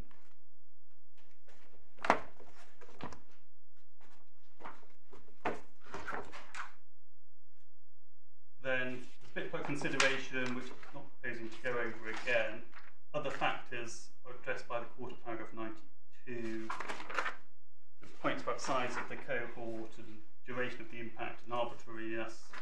And all of this seems to have been taken by the judge below as being a sort of checklist to apply in any situation. Is it predictable? Yes, it is. Uh, that's not what the Court of Appeal was trying to do. The Court of Appeal was simply illustrating all of the factors specific, specific to non-banking day shift, which taken together meant that the Secretary of State's uh, justification stroke rationality arguments did not pass muster. It wasn't intended to be a sort of checklist of matters which one applies to any universal credit case, where wasn't, some wasn't a menu against No. which to, to check the rationality no, of every other scenario. In, indeed, so, my lord. And to some extent, and maybe this is a bit unfair on the judge, it, it does appear that this approach is a bit of a menu in saying, well, that factor also applies. This is also predictable because it's 28 days, for example. And what's the size of the cohort? And frankly, the evidence about the size of the cohort here is not at all clear because there is evidence of 28 day payment cycles being a certain percentage, somewhere between 20 and 30 percent. I think there's something in Miss. Is it Mr. Lee's evidence about numbers? Uh, yes, that's right, but that doesn't really answer the point No. because we're talking about people who are benefit capped Yes. as a result of all of that. I So think he does deal with that, doesn't he? Because he deals with he he takes a national living wage payment and then multiplies it by the numbers who are earning at or below national living wage for Ye- 16 hours, 17 hours, 18 hours a week. But that- it that- comes to a, a figure 72,000, I think. yes, but um, it doesn't quite. The reason why that doesn't appear to correspond to what the department is seeing is because well, people are just adapting to it and working the additional hours on top. Yes. Yes, yes, but I think that's- we're- that's a fair point, but it's just nevertheless a starting point. Yes. Yes. It- yes, that there won't be. You can't work out how many people will be in Ms. Pantellerisco's uh, unique situation where the, co- the combination of circumstances means she can't increase her weekly Indeed. hours by one and a half hours a week. Yes, so you can go part of the way and, Yeah. and see how common 28 day payment cycles are. But we, But we but in any event, doesn't the size of the cohort cut different ways? I mean, if it's if it's so small, why can't you make an exception? If it's so big, then you must make. Do you know what I mean? It, Absolutely it- so. It's hard to know whether it's I, I, I a, agree. a plus or a minus. It in is the hard to know if it's a plus or a minus because if it's just one case, then it's tough. It's a very hard case uh, if nothing is done in response. But um, Secretary State's position here is not really about the numbers. It's about the fact that it does strike at the heart of the anterior decision, and it is the thin end of the wedge because once you do it for 28 days, then you've got to do it for 14, then you've got to do it for seven, then you've got to get into Well, even that's a secondary point. The, the real point is that it strikes at the heart Yes. of the policy decision taken absolutely so. as to the as to the structure. And that's the heart of your case, and in a, in a sentence, that's the case. Yes. The case. Yep, it, it No certainly more, is. No more complicated than that. no more complicated. I, I certainly would say that um, you, you- a court can scrutinise anything, of course, but here, if, if one considers how central this aspect is and the good reasons that underpin all of it, given the high threshold for a rationality challenge as set out in Johnson, is it really capable of being met here? And the answer is no.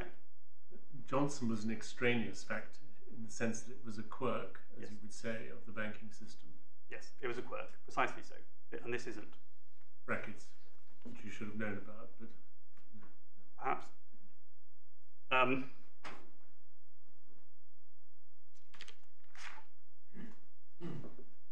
so the, the other factors, these are all secondary points that the respondent will make points about predictability. They will say it disincentivises work. We don't accept that. Um, somebody, even in this payment cycle, would be better off actually working than not working because they would have the benefit of the income. If they financially, they would be better off. But the point that the respondents make is that it doesn't incentivise work as much as it would do if you had a uh, an assessment period cycle which corresponds to the payment cycle, such that the benefit cap didn't. Doesn't it encourage you to work 17 and a half weeks, uh, uh, 17 and a half hours a week rather than 16 if you can? It does, yes. They say, well, it's a bit unfair because we're doing 16 and somebody on the monthly cycle is doing 16 and they're not subject to the benefit cap. But it, it does have that fairly um, robust behavioural uh, uh, effect.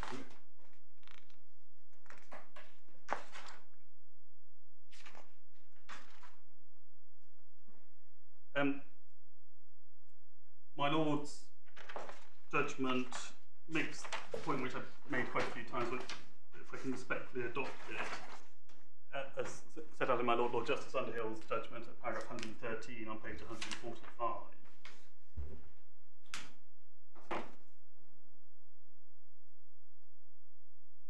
We do adopt that. It, it is extraordinarily complex.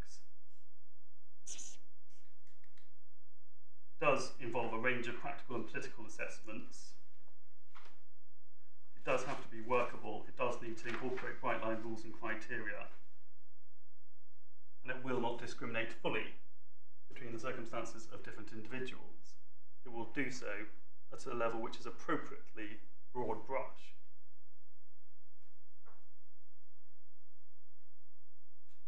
And the court makes the point again, which we respectfully adopt, the court should avoid the temptation to find that some particular feature of such a system is irrational merely because it produces hard even very hard results in some individual cases.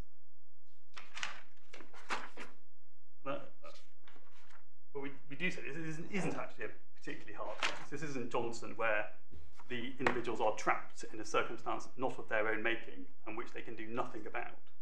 That's the factual position before the court in Johnson. But there was no sensible way in which the respondents there could address the non-banking day shift because they can't withdraw their universal credit claim because of other provisions in the legislation. Uh, they can't work more. None of those factors can can mitigate or reverse the consequence of the legislation upon them. Here, they, they can. Well, in an individual case, it we said they can't. Ms. Pantellerisco may well be an example because none of the parameters are under their control. They can't work more. They can't get the employer to pay more. Well, safe that she has though. She's moved employment. Well, all right, but it's a different kind of can't. Yes, Um, perhaps that's a too oblique way of putting it, but I, it, it is um, because uh, on one view, the, the Johnson respondents could also move employment and yeah, the Johnson respondents basically, this is a, a hit they take being in their current job, um, simply as I say by by, by the, the, the quirk How- of the banking system. How, how do you how do you move employment to avoid the quirk of the banking system? Do you need to have a monthly payment that's in the middle of the month? Yes. Um, so one of the points that I had made is that um, some employers do run two payrolls, for example, Right. and in those circumstances, it, it only actually depends on when your payroll is being Yeah. administered. Yeah. So um, if you're if you're paid on the fifteenth of Yes. each month, you probably avoid all the bank holidays. Uh, yes, it's not just bank holiday. You- need to basically be um, paid on the first of the month and have your assessment period running from the 15th of the month. And then there is no question of the issue ever arising. Right. The issue arises when the, you present your universal credit claim and start your assessment period on the same day, roughly, as the salary payment, so the last first day of the month. And then the bank holidays start shifting it around. Oh, I see. So running two payrolls solves that, but um, But not all employers do. no, they don't. Um, It was a, probably just anecdotal. I think a debating point that was able to be made there was the revenue. In fact, at one point, simply told employers who paid on a a uh, Friday to report having paid on the Saturday on the actual the other way contractual- round. or the other way Yeah. round. Oh, sorry, to pay Yeah. uh, so that in the in the returns to the universal credit, it would show up as being paid in the month, in the in the in the quotes right month, rather Yes. than the accidentally wrong month. Yep. I mean, that, it doesn't look as though that's the route that's been taken, or maybe it has, but it can be done anyway. Well, um, th- that solves the problem for those who do it. So Yeah. The legislative solution deals with the, the truculent employers who don't change their systems, and then it, it is responsibility of the department. If you become an RTI employer, that can be told to be one of the things you're told to do as part of the RTI scheme, but not everyone is an RTI employer. yes, that's right, and also Yeah. some get it wrong, but th- there are other provisions anyway. But Yeah. Okay, let's not go there. But Um, so my lord then deals with point 114 and 116. This is very much about the particular issue. Um, and just taking what my lord said below uh, B on 146, that I of course understand it's a fundamental principle that entitlement should be based on monthly receipts. However much claims income may vary from month to month. Sorry, where are you reading from? Sorry, uh, just below B on page uh, 146. Yes, I see. Uh, an adjustment specifically to address the non-banking day salary problem would not in any real sense undermine that principle. Indeed, it could be said to vindicate it.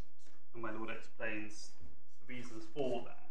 And there's an interesting paragraph in the judgment below, which I'll come on to, where the judge seems to conclude himself that actually it would be an improvement to the system if one were to build in 28-day payment cycles as well, which we say is a difficult conclusion to understand. But here it's absolutely explicable on the evidence in Johnson. My lord, my lord is right. Um, if one addresses all of this and one's really ironing out something which is at, uh, or an issue which is at the heart of universal credit to everybody's benefit, it's fine tuning basically. And my lord, lord said at 116 this judgment does not go any further. Words to that effect.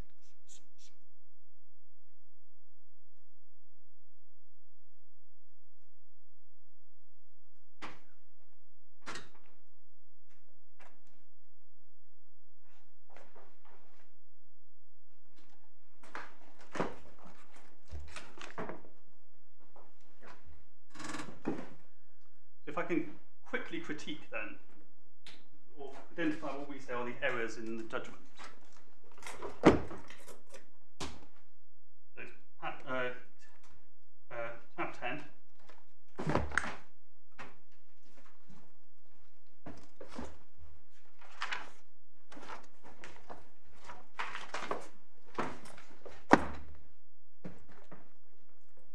Paragraph on to the judge sets out the issue. 2 of the judgment page 68. Read literally seems to suggest that the Johnson case came out of the blue, and slightly odd because it was very much at the heart of the submissions before the court in Pantellerisco, but probably doesn't make any particular difference. Um, Certainly, though, the challenge below was ground one, Johnson Divisional Court, ground two, irrationality, ground three, discrimination, and ground two is the basis of which the claimants succeeded. Um, but if I can just skip over all of the legislation and the evidence on the basis that I've already taken the court to it, and just focus then on the, the conclusions from paragraph 51.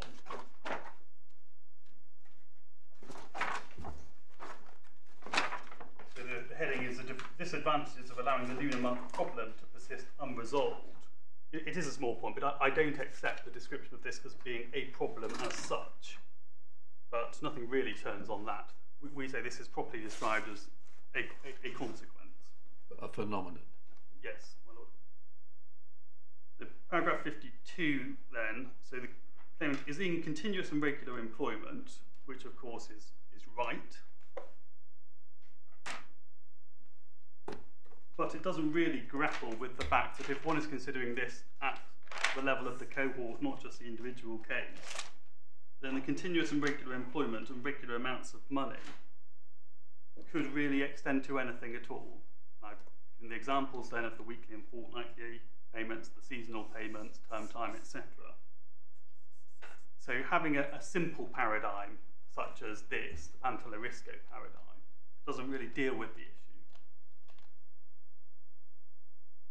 So um, the, the court simply just explains, we say, the, the consequences of the 28 day payment cycle. Then paragraph 53, legislative policy is to encourage work. So the court exceeds then to the respondent's submission on that point.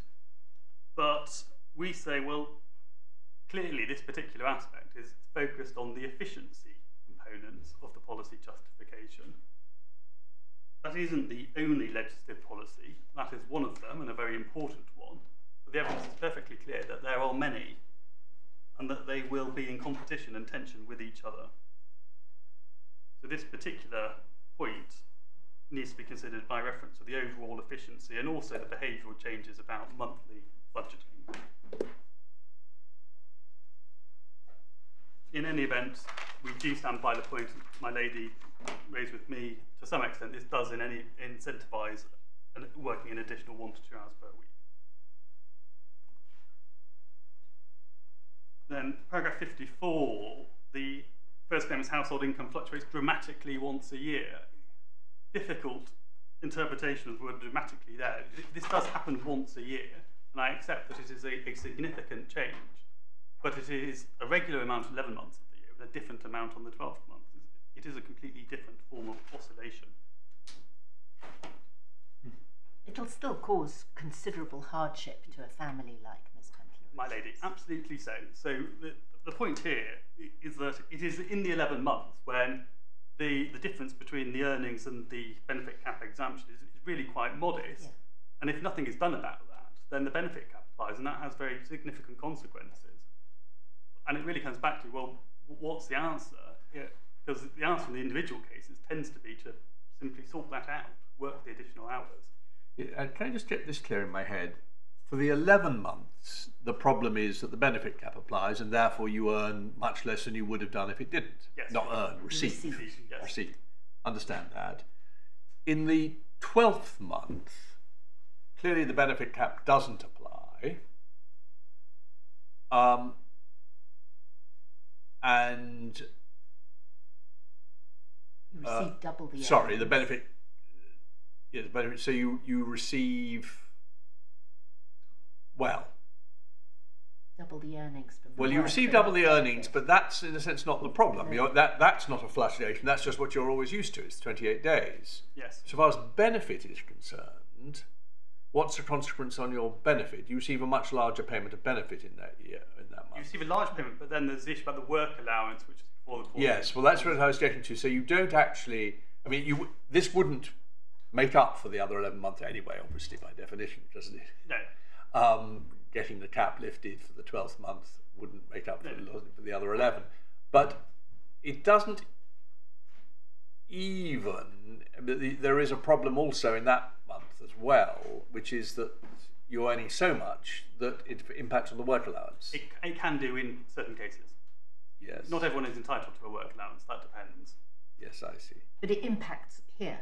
She Yes. she will receive less than she would have done in that twelfth month as Yeah. a result of But, double earnings. If one annualises it, it would have the two consequences that my lord has just outlined. So no benefit cap, and you'd have the full amount after work allowance as well. So, so, but this is in a, s- is- i- i- i- this is another aspect of the phenomenon, but it's a very minor one compared to the. I mean, the real complaint is about what happens in the other eleven months. Absolutely. The, the real complaint here, and I don't in any sense look to minimise um, No, any particular financial consequence. It will all be significant. But the, the, the gravamen of the challenge here is the benefit cap and the consequence in the 11 of the 12 months. That's the central part of the respondent's. and the only reason why it's worth spelling it out is partly for my own clarity of thinking, but also the judge seems slightly in para fifty-four to treat this much more like Johnson as Yes. being the real problem.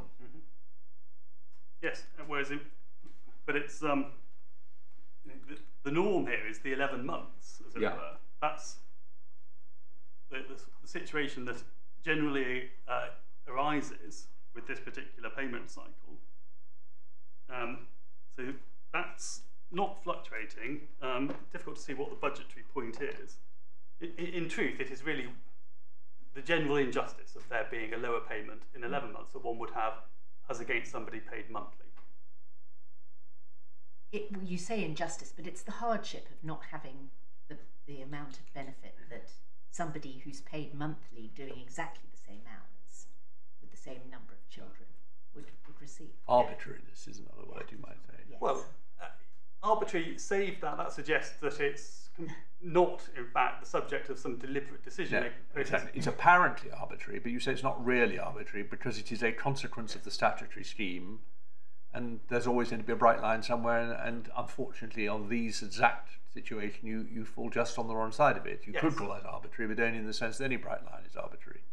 Precisely so. Um, paragraph 55, the effect of the regulations produce different levels of cap depending on the payment's pay date and payment cycle chosen by the employer. Precisely so. That's said by the judge, though, to be a reason why the Secretary of State needs to do something. But that, that is well known to the Secretary of State. Different levels of cap depending on payment cycle. Not really pay date in this case, it's payment cycle. The pay date is the same every 28 days. Um, then rejected my point there about it, try and sort it out yourself, that's fine. Um, but here, uh, taking them from the, the individual case, individual evidence, uh, the claimant says, well, local authorities said it's not possible. And that, well, that, that's the, the claimant's situation. So that particular response to the phenomenon is not open to her. It doesn't mean that there's no response, or that at a macro level for the population generally, um, there will not be the sorts of shifts that are envisaged. So true it is on an individual case, the employee may and probably will lack the bargaining power, I don't say otherwise, but it's not really the point that's being made here.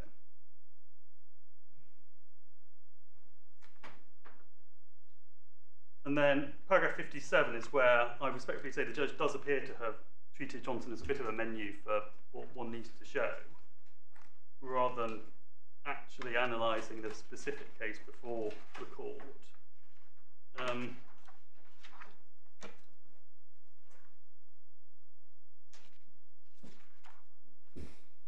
so I mean, the, the disadvantages are fundamentally quite different from the position before Johnson.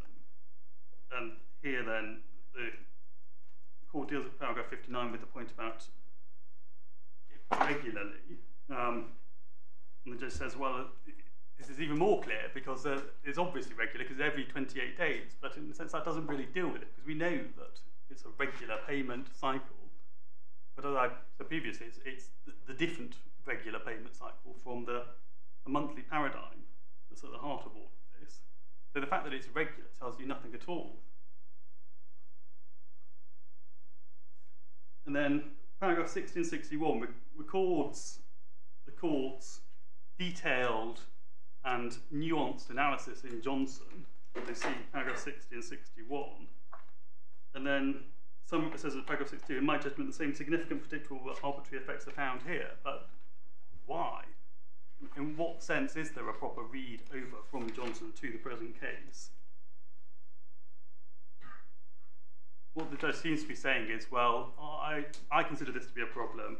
Don't see any good reason or sufficiently good reason why you don't just fix it.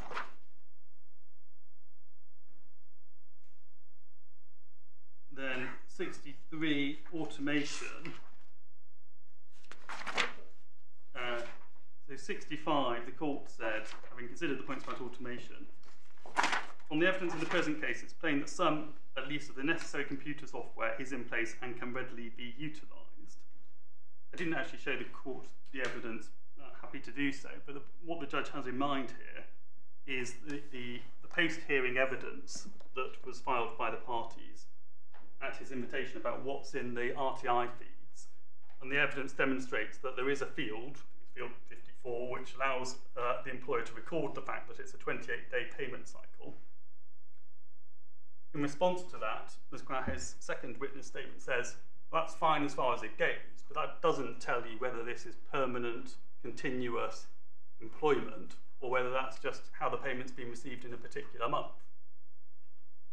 So if you have, for example, a claimant who receives a payment for, say, six hours' work at the national living wage, or at a higher amount, for example, and the field reports that that's part of a 28-day payment cycle, what does that actually tell you in terms of what do with that information?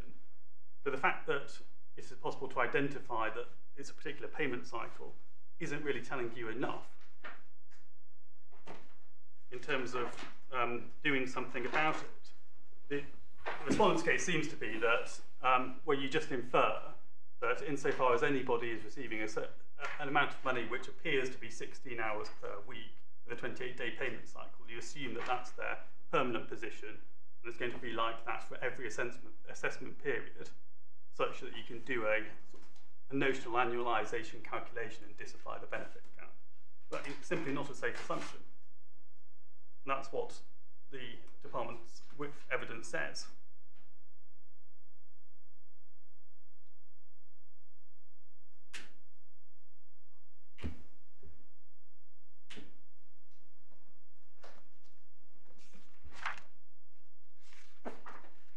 Then, would a solution be consistent or inconsistent with the nature of the universal credit regime? And uh, the judge does say at paragraph 67 one important, important element of the UC regime was to align the assessment period with monthly payment and charging cycles. And at 68, What does does he appear, mean? What does he mean by charging? um, I think he means bill payments, so uh, Oh. outgoings. Yes, outgoings. So the judge says at 68, I accept that accommodating a four weekly salary cycle would not advance the behavioural change of encouraging people to plan their working lives around a monthly working payment pattern. And that is a consideration in favour of the Secretary of State's present stance. But first, the weight to be attached to that consideration is somewhat reduced by the evidence discussed at 64 above, to the effect that the data needed to manage four weekly payments is already collected by HMRC. Don't, frankly, follow that reasoning. So the fact that it is known that it's on a four weekly salary doesn't tell you anything about the behavioural change of managing your affairs monthly. And second, that is not the only behavioural change in prospect. And then the, the judge appears to accept the, the, um, the case of the respondent that uh, doing a four week, it's better than nothing in a sense. That, uh, if you're going to um, resolve this problem, then at least do it in a way which provides some sort of benefits for individuals such as Ms. Pantellerisco. But it's simply the wrong approach. You need to look at it at a much higher level than that. We say it does facilitate work. Um, then paragraph 69 is extremely difficult.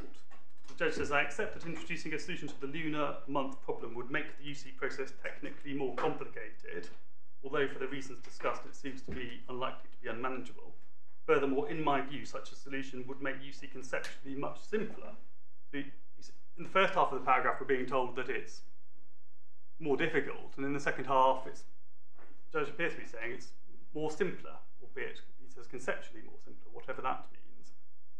Well, we say the first half is right, it's, it's more difficult, and the second half is wrong, it's not more simple.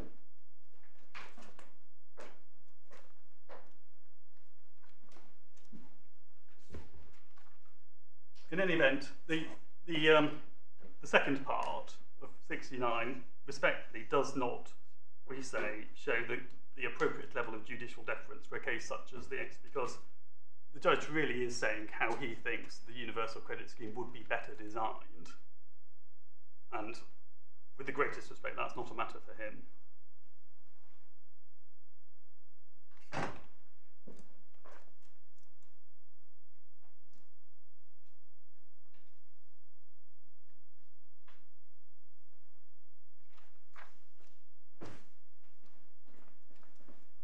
in paragraph 71, we say was not really a, a, a cogent basis for rejecting the very clear evidence from the department that this is certainly not something that can be the subject of a, a, a quick fix or a fine tuning solution. So we do say, and the way we put it in the grounds of appeal is that this is simply a misunderstanding of the evidence.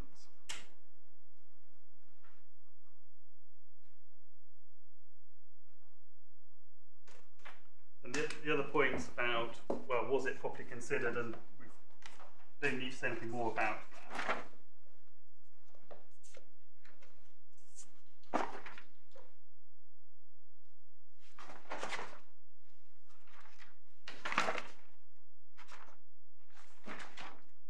Um, 75, the size of the cohort, again, covered that in my submissions already. It, will affect certain people. Quite what the size of the cohort actually is, is rather unclear. And simply identifying how common 28 day payment cycles are doesn't answer that.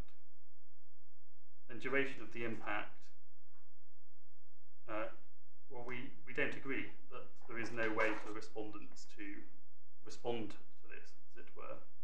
So it is different from Johnson in that respect.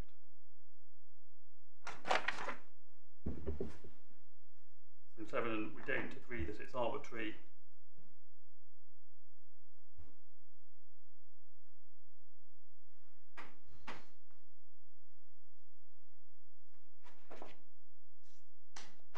Uh, 79 through to 81, the very clear evidence that I've shown the court should have been accepted, namely that uh, this requires careful consideration. This isn't just a point about programming IT systems, this is a, has to take place at a policy level as well. And so the, this, the conclusion of the court at the top of page 88 that the difficulty substantially disappeared when the further evidence was obtained. Yes, it's simply wrong. The evidence is perfectly clear that simply identifying a payment cycle is not going to be sufficient to resolve this.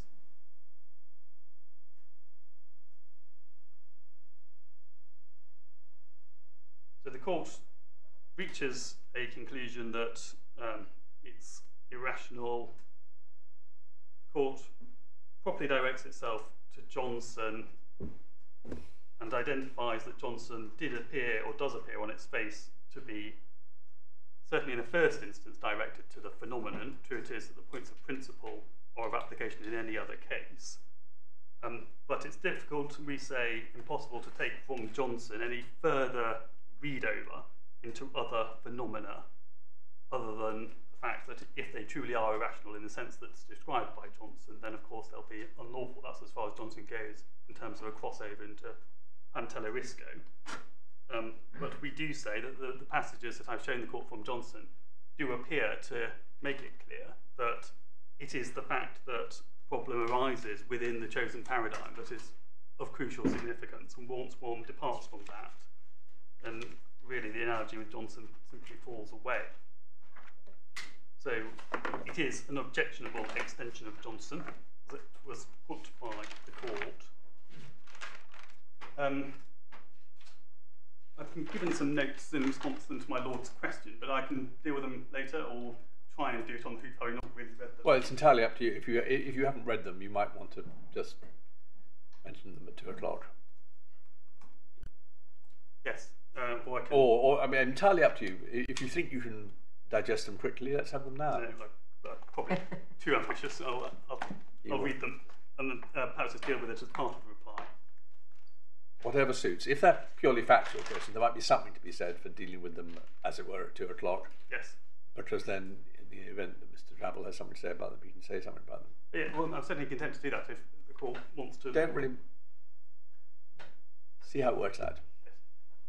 Well, my lord, uh, subject to any further points, those are our submissions. Thank you very much indeed, Mr. Brown. Very helpful. Yes, Mr. Drabble.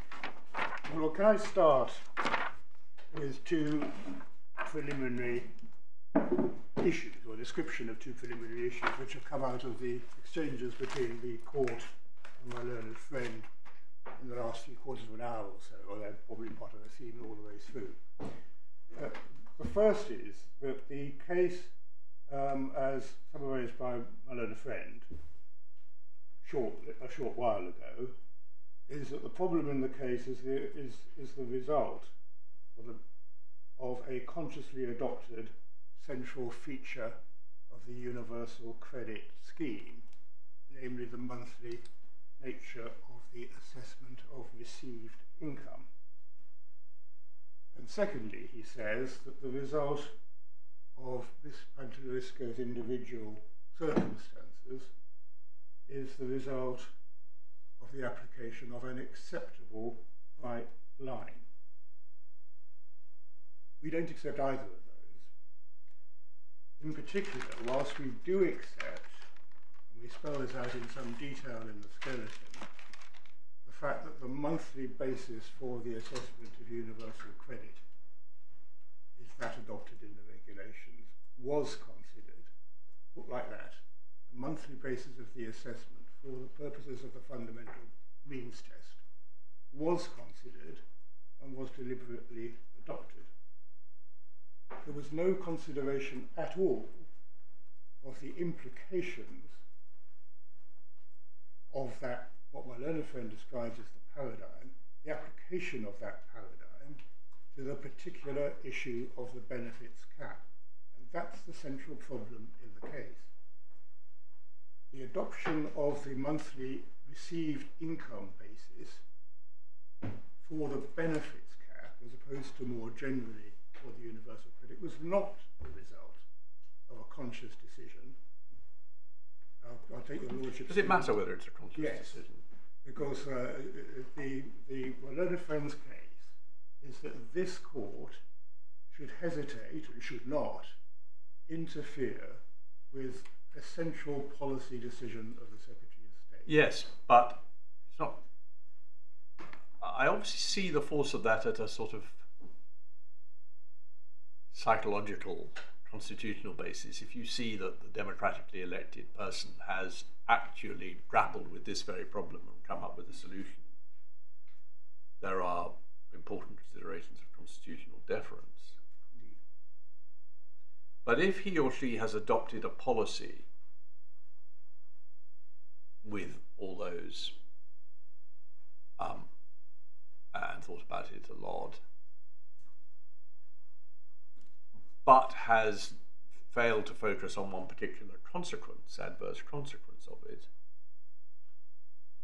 does that make does the fact they haven't thought about it really ultimately make a legal difference? We've got to look at the objective justifiability, objective rationality of the state of of- affairs which has which has which has Uh, um, resulted. I accept a lot of that. The size of the consequence that they haven't thought about, which is what I, which is my bright line point, the second part of this these initial remarks, the size of the consequence that's been omitted from consideration does affect the court's appraisal of rationality. If I can just kind of jump ahead to the size of the bright line, Malone Friend has not said what the financial impact the overall financial impact on the Miss Pantelleriscos of this world are. We, if your lordship and my lady go to our skeleton, Is it four hundred and fifty pounds a month? We do know it's four hundred fifty Yes. pounds a month. it's 5,000 a year, therefore. Yes, yes, it's a huge amount. It's a huge amount.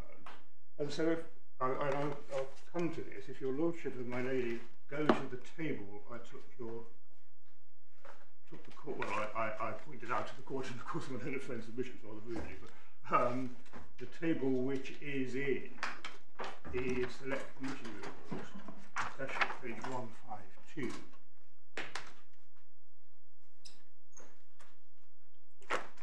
The feature of the scheme that has resulted is that if you look at that table, So sorry, I'm slightly behind you. I was just writing a note. Where have we got? Where have we gone to? I I was asking the court to look at page 152 of the supplementary bundle. In the table, Oh, the same table we went to before. indeed, yeah,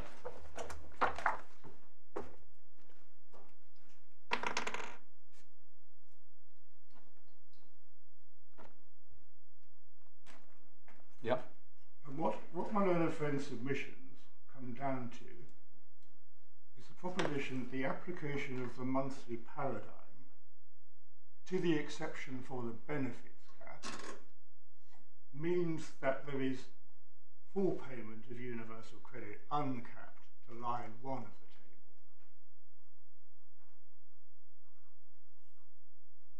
And payment of 5,000 odd pounds a year less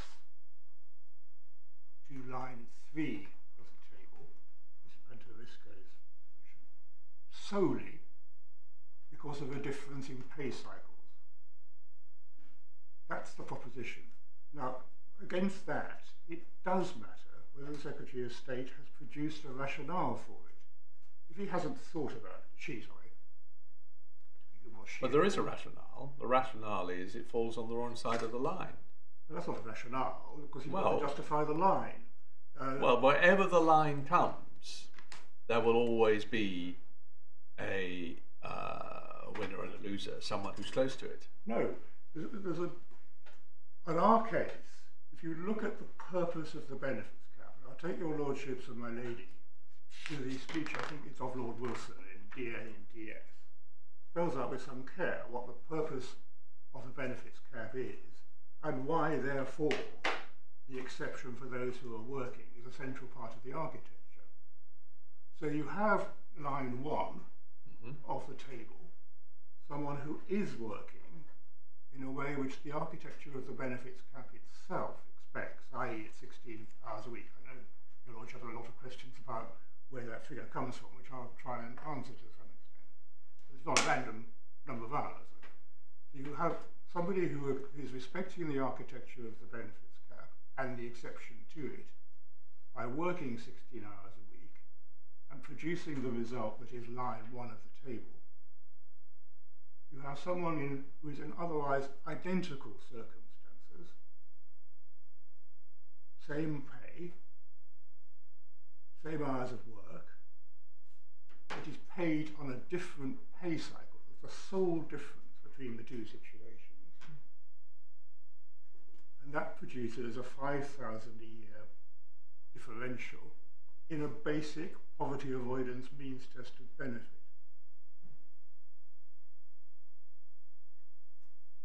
That's not just a bright line, that's a sledgehammer, uh, to use a proportionality analogy. Why, why on earth should the difference in pay cycle generate a difference in treatment of that kind? If it was an inevitable consequence of the adoption of a monthly period of assessment, that even if not thought about, your lordship might be entirely correct in putting to that it doesn't matter whether the Secretary of State thought about it or not. It's clearly not an inevitable consequence of the adoption of a monthly assessment period for the basic for the basic means test, not an inevitable consequence of the adoption of a monthly period for the adoption of the basic means test, that the benefits cap exception is described in the way in which it is described. Perfectly possible, obviously, for the benefits cap exception to be drafted differently. No thought at all went into how it should be drafted, as, we, as I will demonstrate. So the design of an exception, which is a central feature of the benefits cap, without any thought, is producing a £5,000 differential between line 1 and line 3. We say the judge was entirely right to say that that difference of treatment between pay cycle monthly and pay cycle four weekly furthers no discernible objective of universal credit. Indeed, it gets in the way because it produces such an arbitrary distinction as to, produce, as to bring the benefit into Can can, can I, while I accept it's not an inevitable consequence, isn't it a natural consequence of assessing benefit on the basis of a calendar monthly assessment? No. That you assess the uh, impact of the benefit cap likewise. No. I, I, why? Uh, the, the, the, the, targets are distinct. The benefit cap, if you uh, well, can I take your lordship to the passage in the But before Jo- we, but before we do that, um, what it, it what follows inevitably from the logic of the maths is that there will be an impact, a different impact of the benefit cap Yes. in the, and therefore what my lord is putting to you, and I think the way Mr. Brown put it, it's inherent in choosing a monthly assessment period that there will be an impact No, on the only- benefit cap. Only if the monthly assessment is carried over to the description of the exception to the benefits cap. Well, it it, was. Well, I know it was, but no one knew. but- no one knew well- it was going to have this impact. Well, but it was Well, inevitable. That's it was inherent in No. the cho- the choice of monthly assessment. I, I simply don't accept that. It's, uh, um, we're, we're talking about two different targets, aren't we? We're talking about one is the assessment of income for the purposes of the basic means test for universal credit. Our skeleton accepts, and I'll go make this submission in more detail after lunch, that it was perfectly sensible for the Secretary of State to adopt um, money received on a monthly basis, basis, I'm repeating the word basis, to adopt a money received on a monthly basis for the means test. That has the inevitable consequence that there will be swings and roundabouts. So that if you end up with less money in one year, sorry, in one assessment period, I don't mean year at all, I mean assessment period, you are likely to end up with more money in another assessment period. the oddity of both the banking shift day, Well, there won't normally be swings and roundabouts. It depends on the on the regularity of your oh, it receipt. depends on how long the arrangement lasts. I completely agree with that.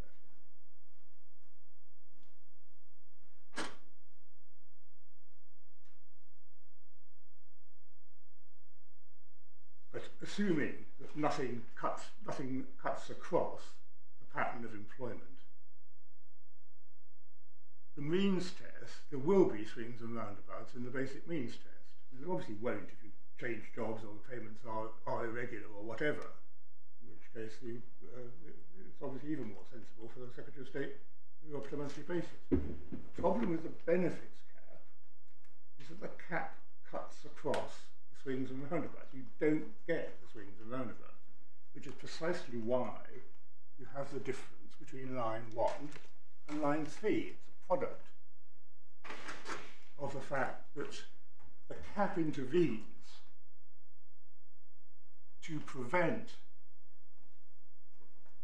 the ordinary application of universal credit assessment rules on to a four weekly pay cycle, apart from Sorry, the cap- cap intervenes to to. prevent what would be the natural result of the application of the four weekly of, of uh, the application of the normal universal credit assessment period to the four weekly pay cycle, which would be swings and roundabouts if you're going on employment over time. By preventing, I, don't know, I never know whether the good thing is to swing or the roundabout. Never understood the metaphor of swings Preventing the, roundabouts, but preventing the upside. It's the fluctuations, isn't it? It cuts across the fluctuations. There are no fluctuations because you because the cap Yes. forces you down Yes. to lose in eleven months without ever being compensated. Now I simply do not accept that that effect, which was not appreciated by the Secretary of State until CPAG pointed it out. Well, we'll go back to the detail of, of that in a bit. Um, I don't accept that that effect, which was not appreciated by the Secretary of State, is in any sense a natural consequence of the adoption of a, of a monthly assessment period.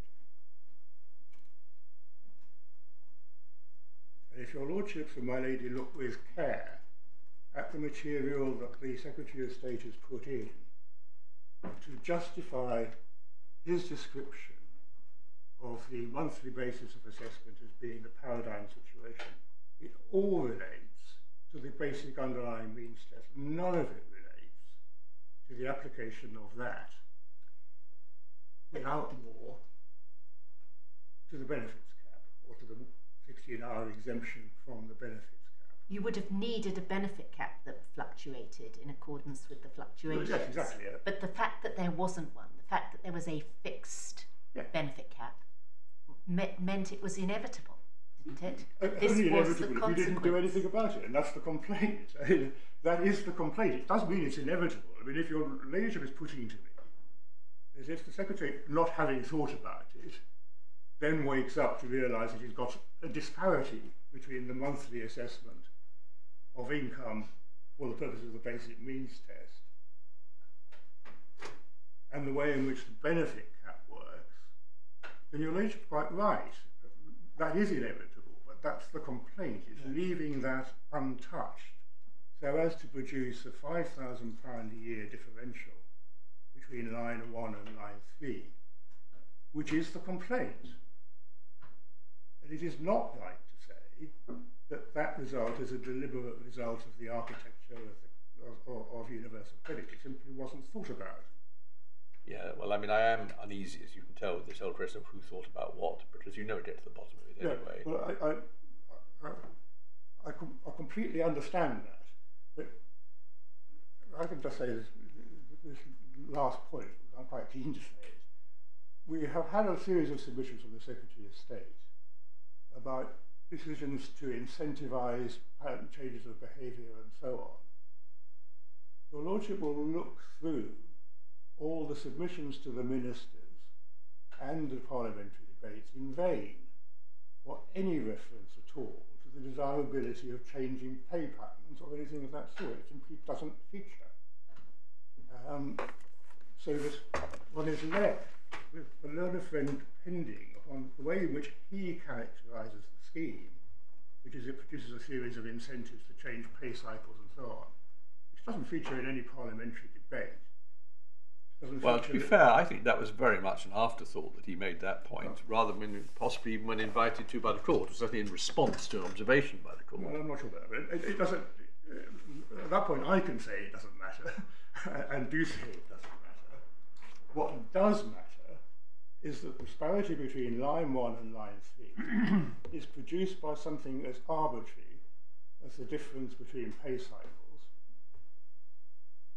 and has on the face of it no justification in terms of the fundamental architecture of universal credit.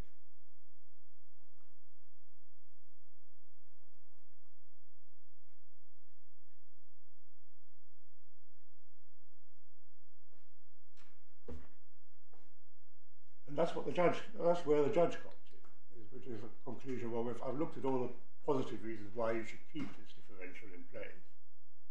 None of them stack up. I'm just left with the objections to the difficulty Yes, of but I think something to talk about after um, lunch is going to be quite what the limits of the rationality approach to this sort of legislation are. It can't be enough for you to say this is badly designed because it failed to spot a problem which has quite a serious effect, admittedly on not a huge group, but nevertheless a significant group of people, um, which not all of them will be able to do anything about. Uh, bad uh, secondary legislation which has that sort of impact isn't axiomatically unlawful. And this is still a very different kind of situation from that uh, which uh, the court believed entitled it to intervene in Johnson. That you needn't respond to that, but I think I, I don't think it's enough to say, which the Secretary of State, and not to put words into Mr. Brown's mouth, but acknowledges may be the case. This is a respect in which it, perhaps the scheme could be better designed. She said she'll look at it. She hasn't said she'll do anything about it, but she said she'll look at it. And you're always going to get primary, secondary legislation uh, of this complex nature, which produces um, suboptimal outcomes for some groups, which can perhaps be adjusted. But that doesn't mean that, that, that it's irrational. You're going to have to tell us how we can tell the one from the other. Yes, well, the, the answer is going to be what I think I've already submitted, which is that the basic means test is aimed at one target, namely the, the assessment of income. In my head, applicable amounts less resources, but that's an old income support calculation, but universal pays the same thing. And on the other hand, the objective of the benefits cap, as discernible from the primary legislation which governs it, um, and the decisions of the Supreme Court in DA and. And the failure, the irrationality is the failure to marry the two, which produces this sort of extreme result. That's a submission. Right. Well, you can develop that at um, two o'clock. Court rise.